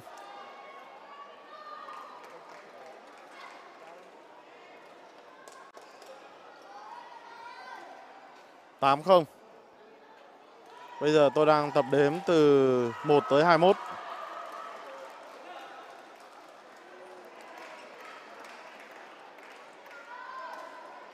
Chín không.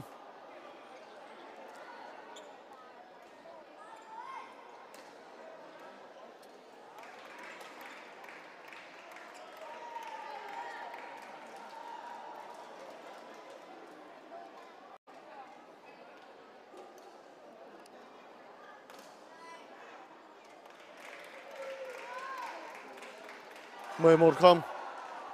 Sự chênh lệch nhất từ đầu giải đến giờ.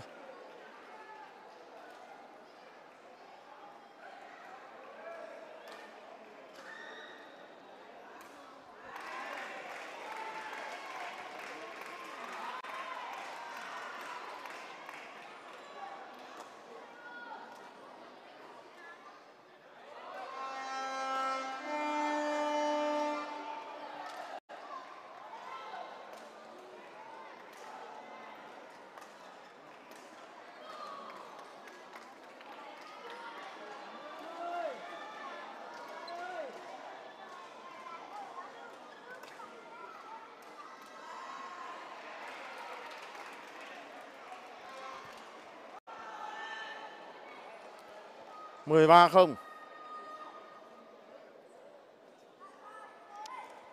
Mong có điểm số danh dự cho Minh Đức của Điện Biên. 14 không. Trả lẽ lại 21 trắng.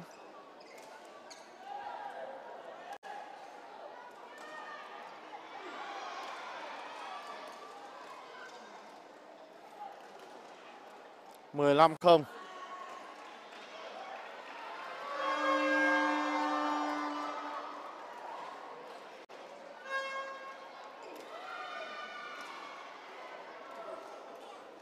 một trận đấu mà các huấn luyện viên của cả hai tay vợt cũng không cần ngồi bởi vì xác định kết quả sẵn rồi.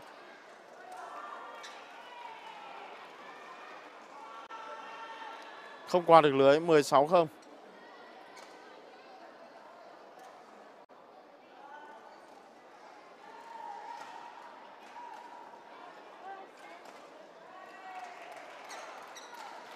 và kéo lưới tốt của Minh Trí 17 không. Tranh nhau cả về mặt thể hình lẫn trình độ luôn. 18-0.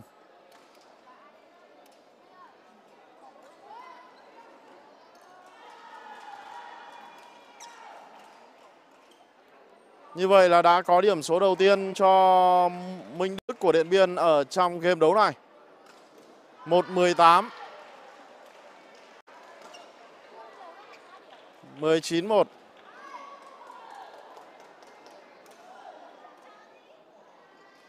21 cơ hội giành match point cho Minh Trí của Hải Phòng.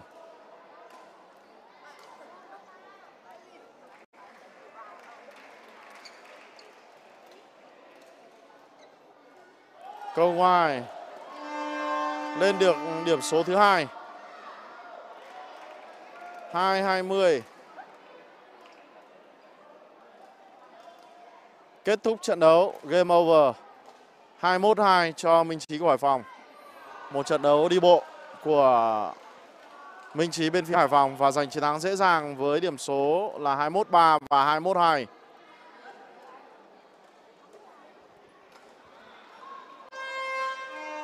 Một trận đấu rất dễ dàng của vận động viên này.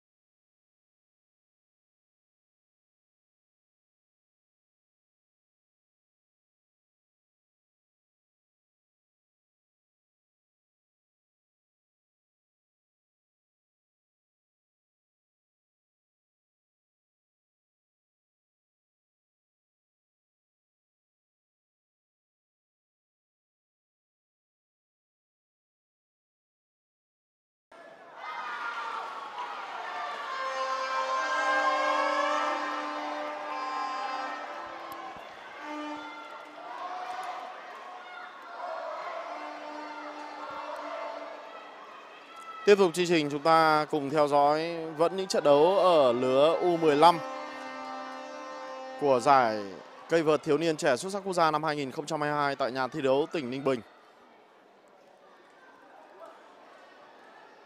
Đây là trận đấu giữa Hoàng Lâm của Hải Phòng và Quang Minh của Ninh Thuận. vận động viên của Hải Phòng trang bộ trang phục áo đỏ và ở phía gần sát lưới, gần màn nhỏ của quý vị và các bạn hơn. Hai điểm đầu tiên của game đấu thứ nhất đang thuộc về phía Quang Minh của Ninh Thuận. Hoàng Lâm đã rút ngắn tỷ số xuống còn 1-2.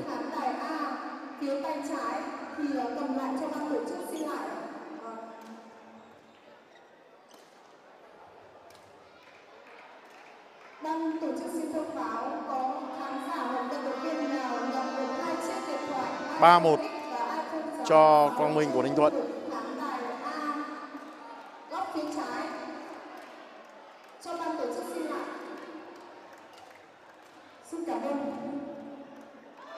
Pha chặt cầu tốt của Quang Minh. 4-1.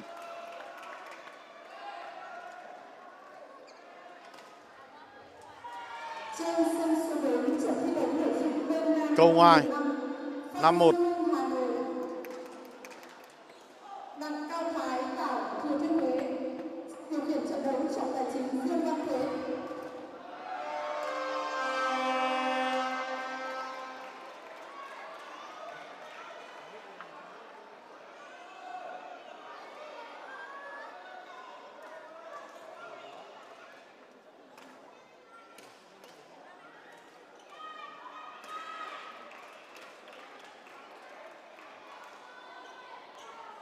Pha chặt cầu không qua được lưới của Quang Minh. Đổi vào điểm cho Hoàng Lâm của Hải Phòng 3 năm.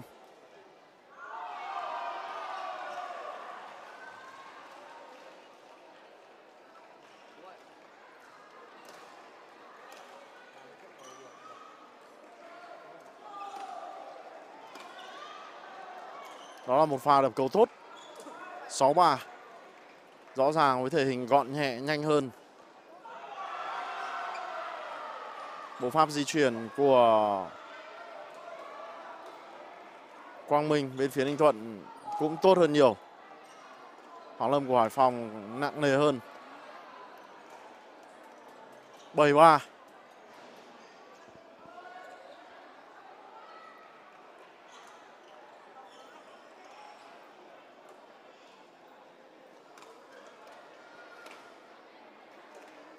Tiếp tục là 8-3 cho Hoàng Lâm của Hải Phòng.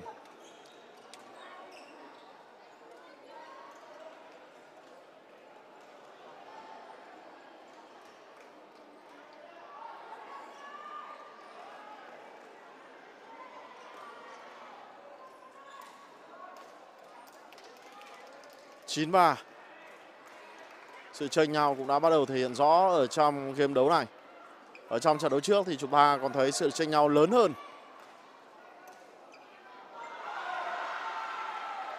Minh Trí và Minh Đức của Điện Biên chênh nhau rất rõ.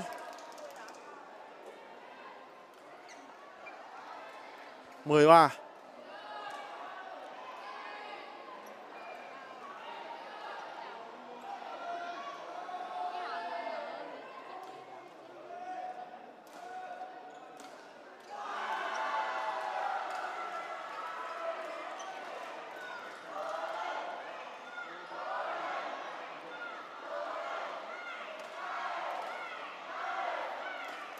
Cầu ở bên ngoài sân.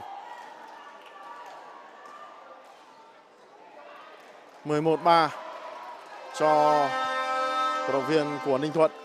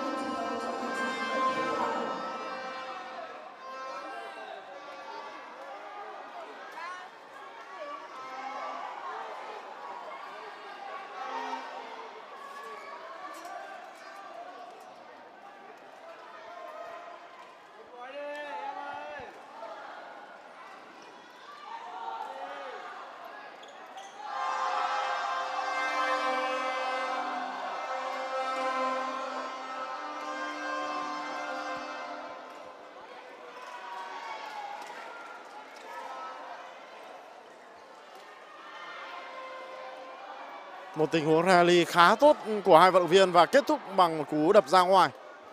Pha rally khá lâu của cả Hoàng Lâm và Quang Minh. 11 4 4 11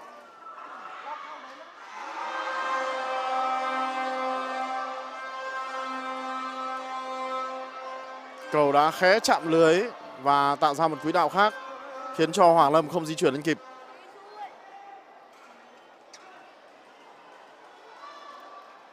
Mười hai bốn. Cú chặt cầu không thành công của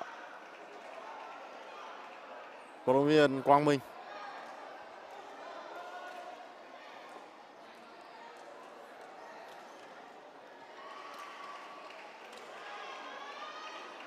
Cầu ngoài 62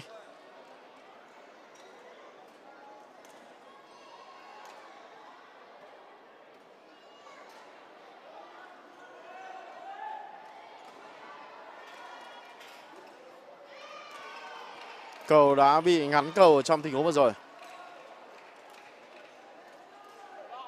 Cầu chưa đi vào trong chuồng.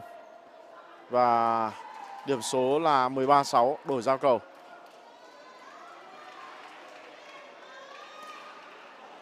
Cầu ở trong sân 73 đổi giao cầu cho Hoàng Lâm.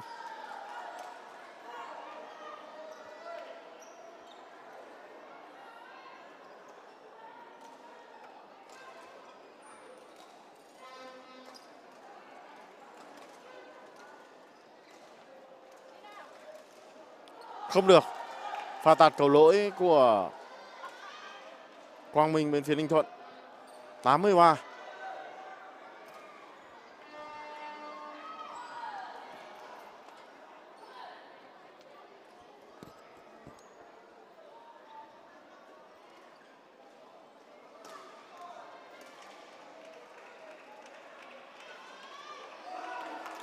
Đó là một tình huống đẩy cầu về phía phần cuối sân tốt của Hoàng Lâm 9-13 Pha đánh hay, Đã đánh lừa được Quang Minh bên phía Ninh Thuận.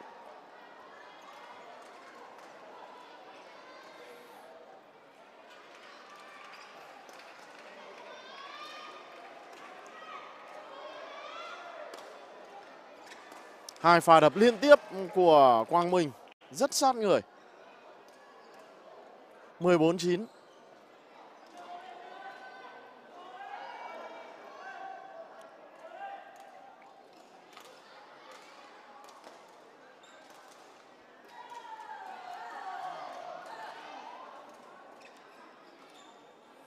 Cú chặt cầu hơi lỏng của Hoàng Lâm. 15-9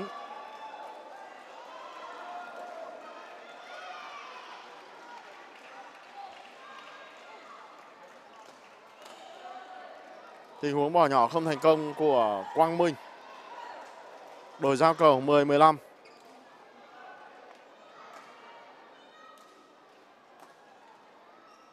Không có sự chênh nhau quá rõ ở cặp đấu này nhưng vận động viên của Ninh Thuận, Quang Minh vẫn có ưu thế hơn so với đối thủ của mình. Về trình độ có vẻ nhỉnh hơn so với Hoàng Lâm. 15-10.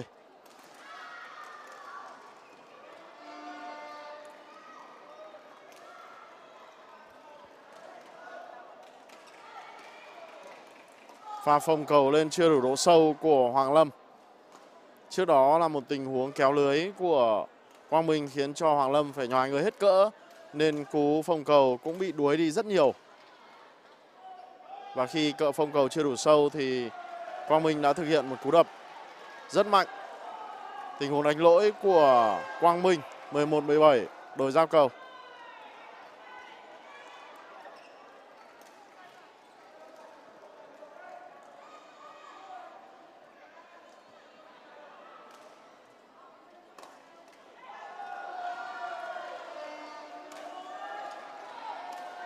Không phòng thủ được nữa rồi, hai cú dậm nhảy đập quá mạnh của Quang Minh.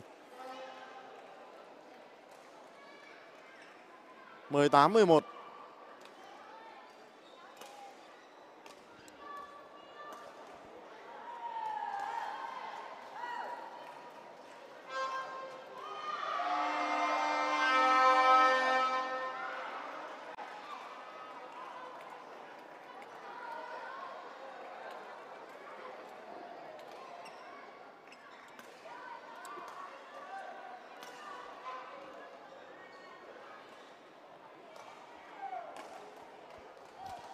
19-11 cho Quang Minh.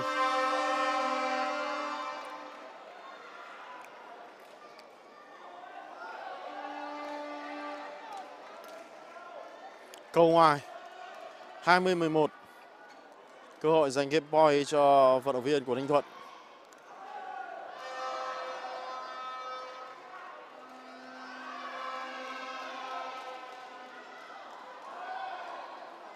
Quá dễ dàng với một tình huống kéo lưới, đánh lừa đối thủ như vừa rồi. 21-11 Trận đấu này có lẽ cũng sẽ kết thúc trong hai set với sự chênh lệch như thế này.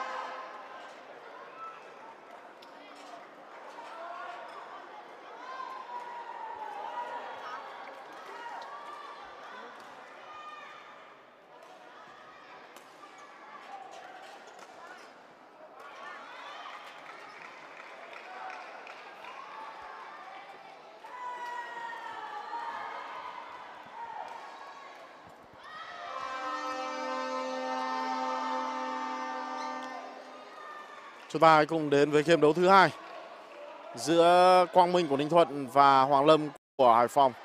Và xét đấu đầu tiên thì đã thuộc về phía Quang Minh của Ninh Thuận với sự chênh lệch tương đối rõ khi giành chiến thắng trước 21 ừ, với tỷ số 21-11. Ở trong game đấu thứ hai này thì Quang Minh vận động viên áo đen ở phía sát màn hình của quý vị và các bạn hơn. Cầu ở trong sân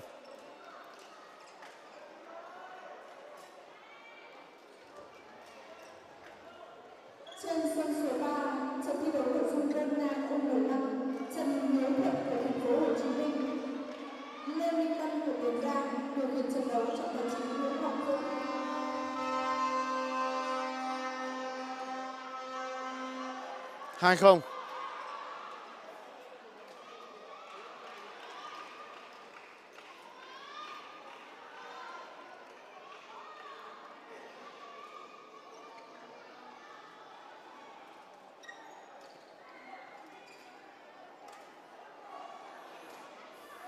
Những tình huống xử lý tốt của Quang Minh.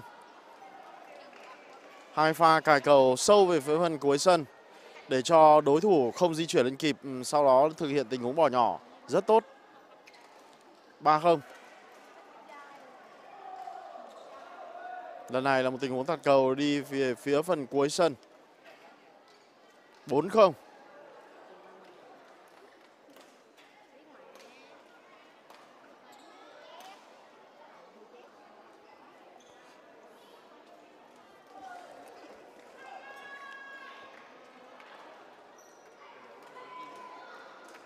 rất tốt với tình huống đánh rất nhẹ nhàng vừa rồi. Cú treo cầu có thể nói là rất nhẹ nhàng của Quang Minh.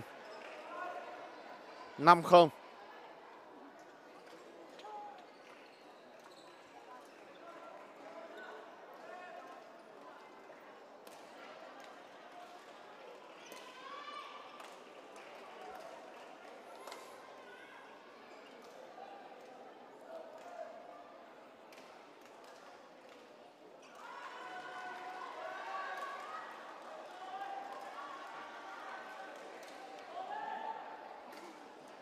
Xét đấu thứ hai vẫn đang thuộc về phía Quang Minh của Ninh Thuận. Vận động viên rõ ràng được đánh giá cao hơn đối thủ phía bên kia lưới nhiều. Khả năng trận đấu này kết thúc trong hai set là rất rõ. Khi mà giành chiến thắng rất dễ dàng ở trong set đấu đầu tiên, game đấu đầu tiên. Và bây giờ đang dẫn trước 6-0 ở trong game đấu thứ hai.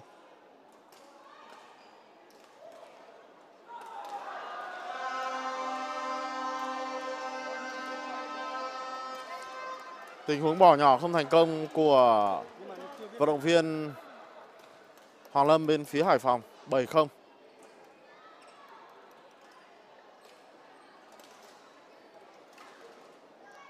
Cú chặt cầu đánh lừa đối phương rất tốt của Quang Minh ở tình huống vừa rồi. 8-0.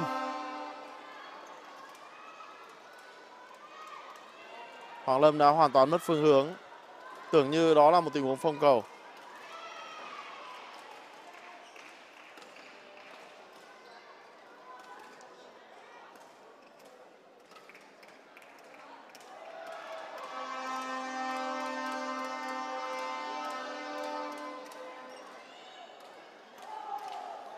Pha ghi điểm đầu tiên của Hoàng Lâm ở trong game đấu này. 1-8.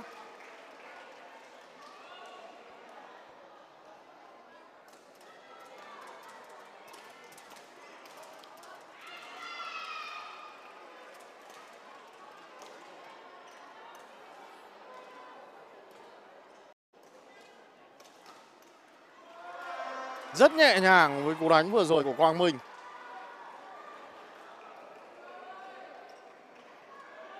Động tác giả rất dẻo của Quang Minh. 9-1.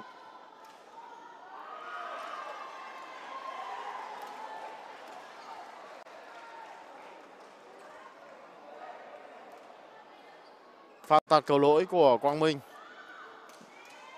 Đổi vào điểm cho Hoàng Lâm 29.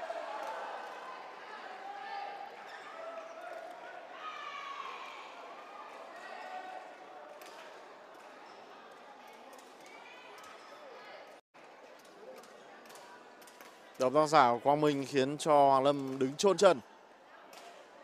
12.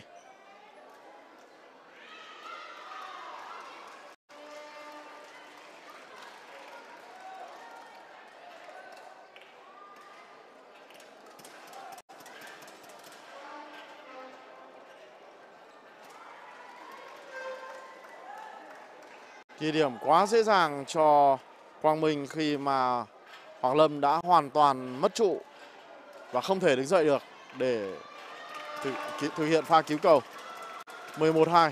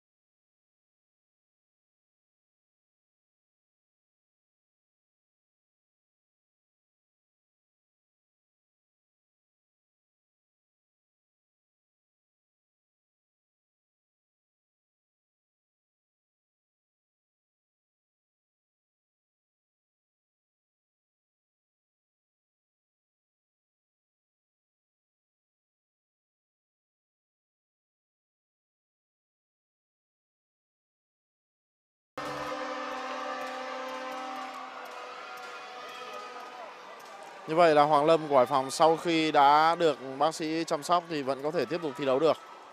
Có vẻ như chỉ là một ừ, chấn thương nhẹ, một sự co rút. Từ đầu giải đến giờ chúng ta cũng có thể thấy một vài trường hợp các vận động viên cũng đã gặp chấn thương. Có những vận động viên bị chật khớp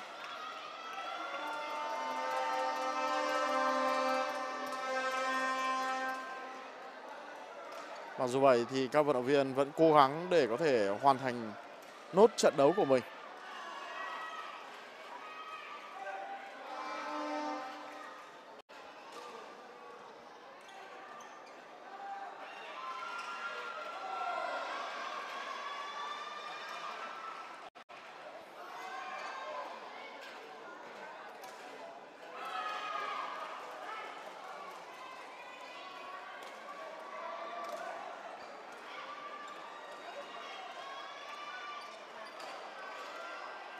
Cú rờ ve quá dẻo của Quang Minh ở trong tình huống vừa rồi.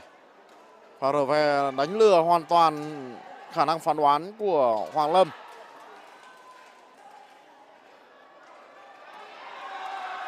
Thậm chí trên thế giới có những vận động viên thực hiện cú rờ ve dậm nhảy tấn công, có thể nói là đỉnh cao trong những pha tấn công. Đó là một kỹ thuật cực khó.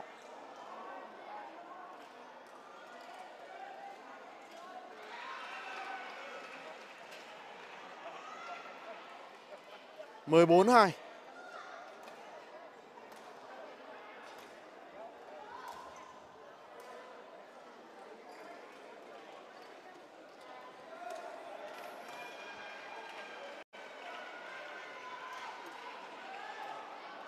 không qua được lưới. 15 2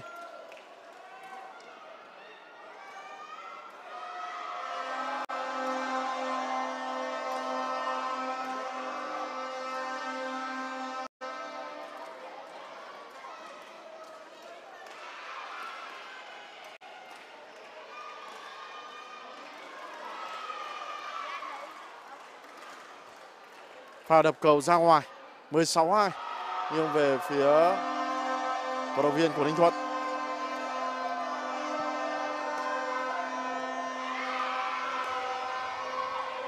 Trên sân số 6, trận thi đấu nội dung đơn nam U15 Vũ Đức Nam của Quảng Ninh, Nguyễn Nhật Long của Thái Nguyên điều khiển trận đấu trọng tài chính Nguyễn Mạnh Nguyên. Cầu ở trong sân, trọng tài xác định như vậy. 36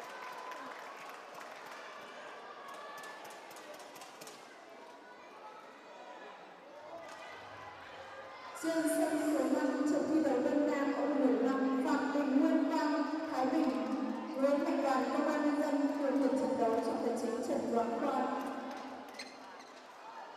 không được. Pha RV không đủ lực của Hoàng Lâm. 17 3.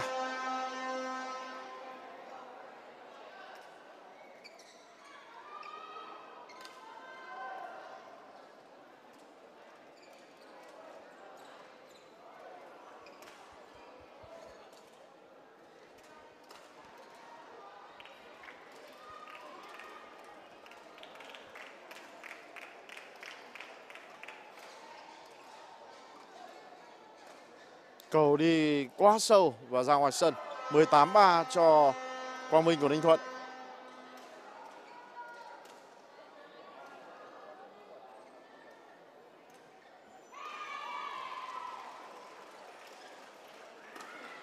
Pha đập cầu đi ra ngoài. mười chín ba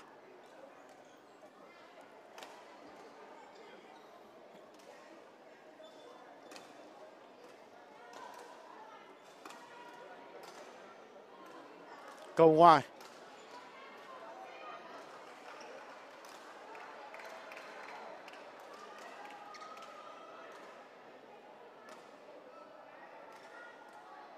nhưng ngay sau đó thì lại trả đối phương bằng một pha giao cầu hỏng.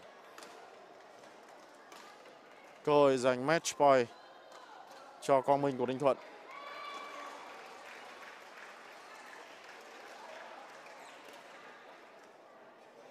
Như vậy là trận đấu kết thúc. Quang Minh của Ninh Thuận thể hiện rõ ưu thế của mình trước đối thủ.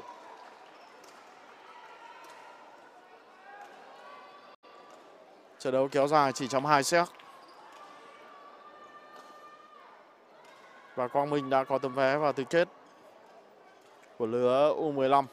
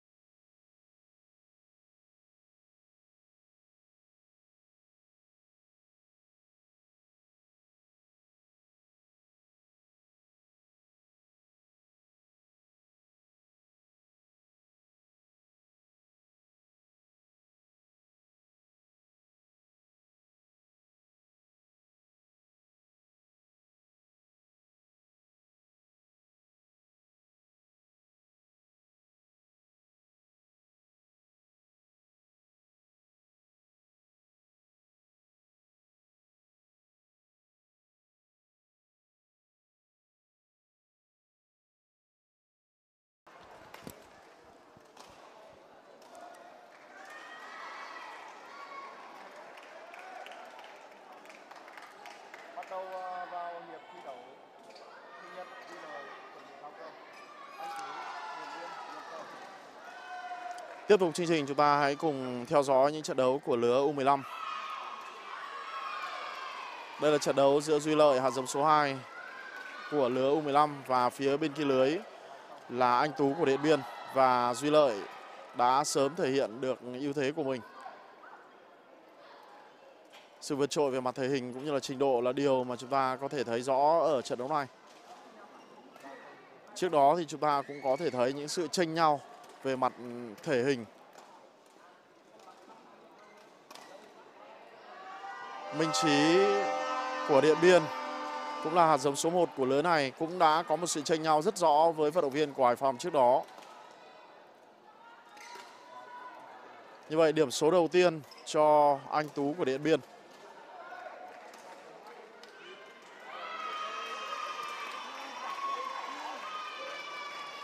Pha cứu cầu rất cố gắng của Duy Lợi ở trong tình huống vừa rồi nhưng không thể cứu được.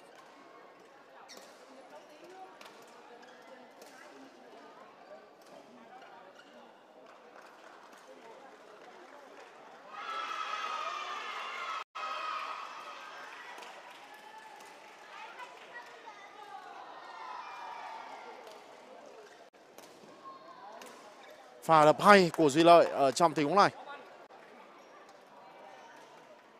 Một tình huống rally khá tốt giữa hai vận động viên và Duy Lợi đã kết thúc tình huống bằng một pha đập cầu rất tốt.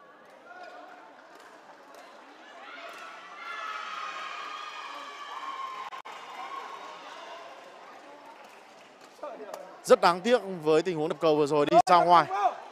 Anh Tú mặc dù bị đánh giá thấp hơn, tuy nhiên vẫn có những tình huống thể hiện tốt Pha chém cầu không thành công của anh Tú bên phía Điện Biên. Đổi 6-3 cho Duy Lợi.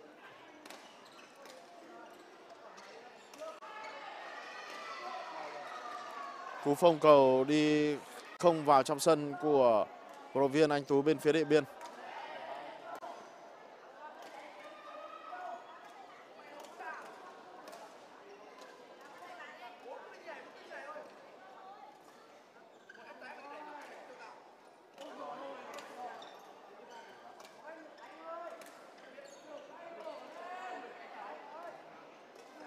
Không qua được lưới.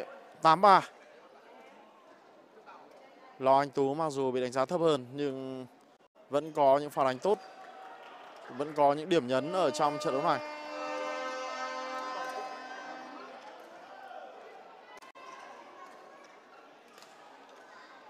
Không được, tình huống chặt cầu không thành công của anh Tú. 9-3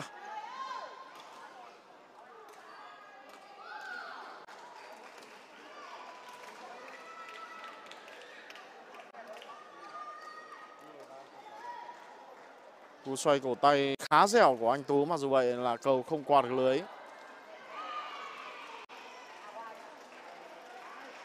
mười ba cho Duy Lợi. mười một ba Cầu đã khé chạm lưới, tuy nhiên vẫn đi vào trong chuồng bên phía bên kia.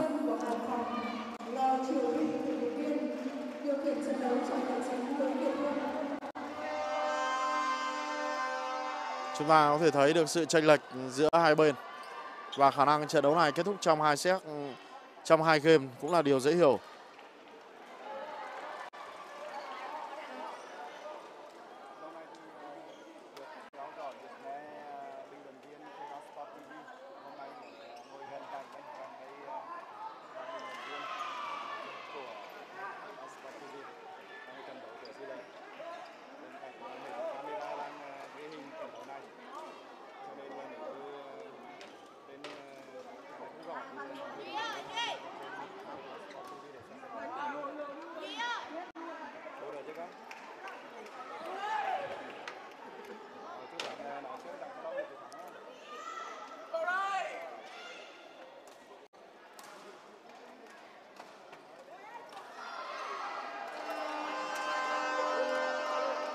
đánh điều cầu rất tốt của Duy Lợi 12-3.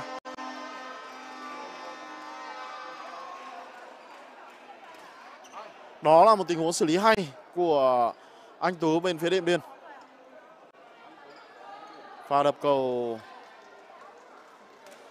rất hiểm của anh Tú.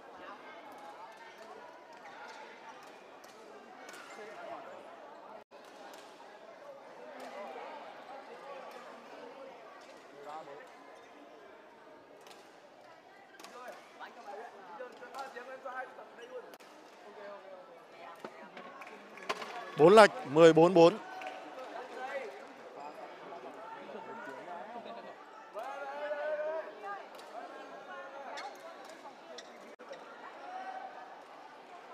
Pha chặt cầu không thành công của anh Tú 15-4.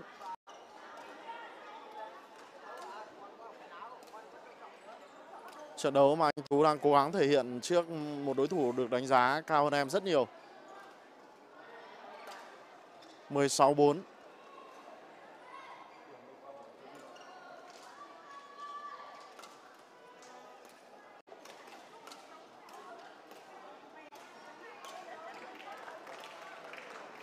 Pha bỏ nhỏ không thành công. 17-4. Trong bộ môn cầu lông thì thể hình cũng là một lợi thế rất rõ. Chúng ta biết rằng là Tiến Minh là một tay vợt số 1 của Việt Nam cho tới tận bây giờ. Mặc dù vậy, một trong những điểm yếu của Tiến Minh khi mà thi đấu ở đấu trường quốc tế đó chính là về mặt thể lực và thể hình. Mặc dù đã cố gắng cải thiện khả năng của mình, thể lực của mình, nhưng Tiến Minh cũng không vươn tới một tầm cao hơn nữa theo đúng mong muốn của anh vì những hạn chế về mặt thể lực thể hình.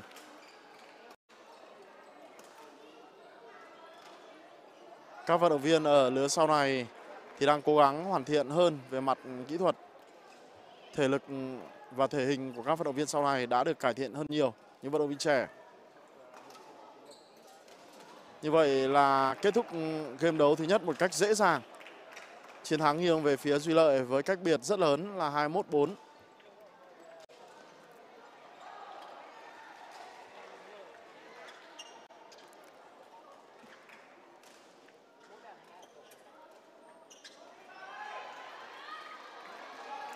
Đây cũng là trận đấu cuối cùng mà chúng tôi gửi tới quý vị và các bạn trên app On Sport.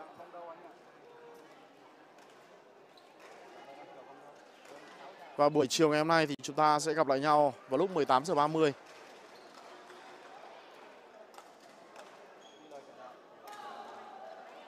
Chúng ta hãy cùng đến với game đấu thứ hai. Và trong game đấu này thì Duy Lợi ở phía phần bên kia xa lưới. Điểm đầu tiên của game đấu thứ hai thuộc về phía anh Tú.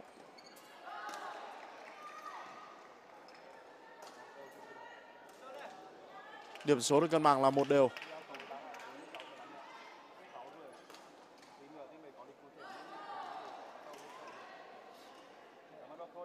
Pha đánh vẫn hơi vội của anh Tú. Trước một đối thủ như thế này thì anh Tú đôi khi nên thực hiện những tình huống phong cầu, những pha đánh cẩn thận hơn, chậm hơn.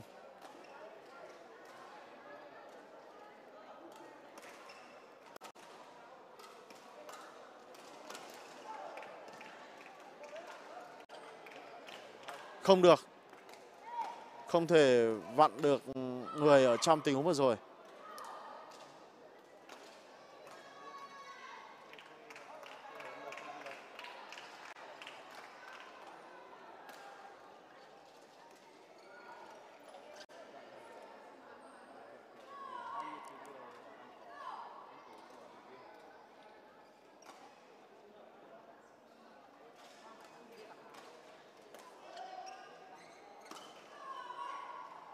Và phòng thủ tốt của anh Tú.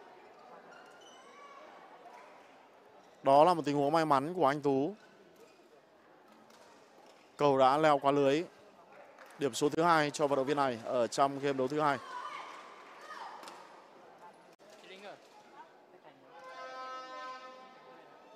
Cầu ngoài.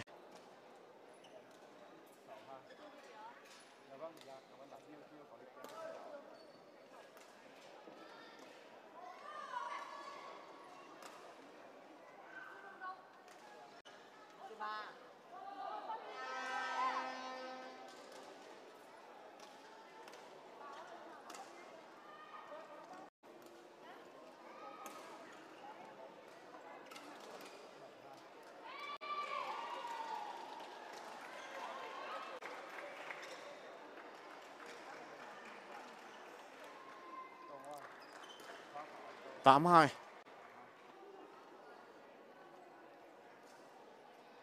Ở sân đấu này thì chúng tôi gửi tới quý bạn những trận đấu của các hạt giống cao ở các lứa là U11, U13, U15, U17 và U19. Và chính vì vậy đôi khi có những trận đấu có sự tranh nhau khá rõ. Từ sáng giờ chúng ta đã được chứng kiến những trận đấu tranh lệch nhau.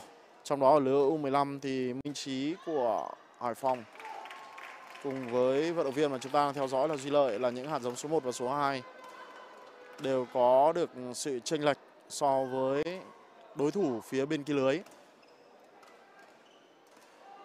Và các trận đấu thường diễn ra trong hai set.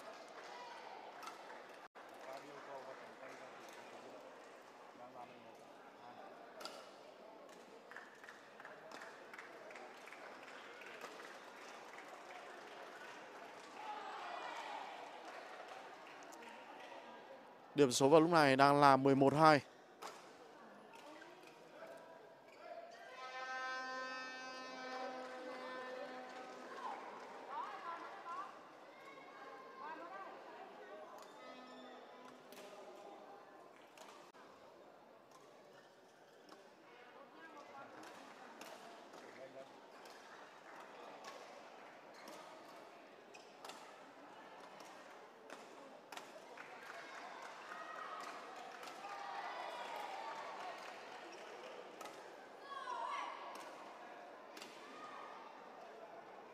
Cầu ngoài. Pha đôi công khá tốt, nhưng chiến thắng cuối cùng vẫn thuộc về Duy Lợi. Hai lệch 12-2.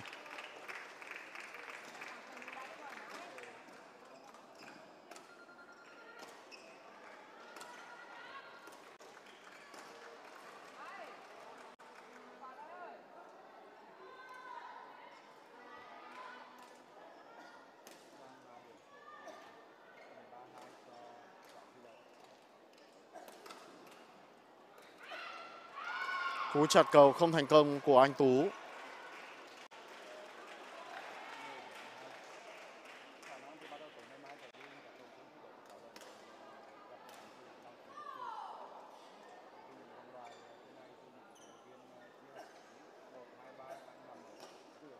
mười bốn ba pha đập cầu quá tốt của Duy Lợi 15-3.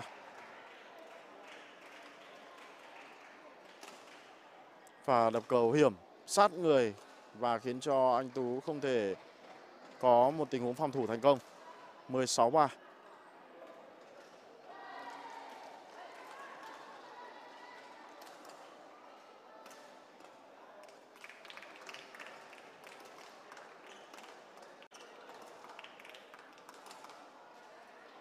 Không được. Điểm số đã là 17-3 rồi.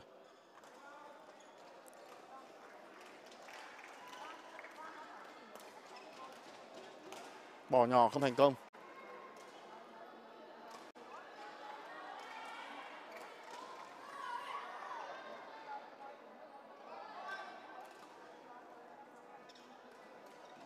mười chín ba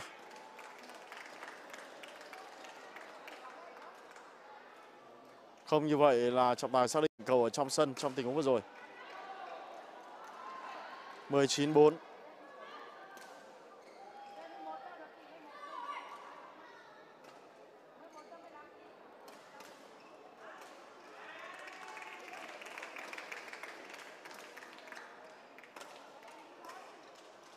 Cầu ở bên ngoài sân 24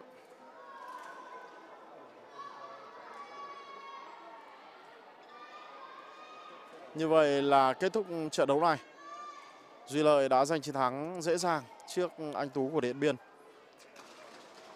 Và trận đấu này thì cũng đã khép lại buổi tường thuật sáng nay của chúng tôi và chúng ta sẽ gặp lại nhau trong những trận đấu diễn ra vào buổi chiều từ lúc 18 giờ 30. À, những trận đấu mà chúng tôi tiếp tục gửi tới quý vị bạn trên app On Sport TV của giải cầu lông các cây vợt thiếu niên trẻ xuất sắc quốc gia năm 2022. Những trận đấu tại vòng loại thì thường diễn ra nhanh trong khi đó thì vào ngày mai chúng ta sẽ được theo dõi những trận đấu vòng đấu tứ kết thì sẽ diễn ra với sự cân bằng lớn hơn.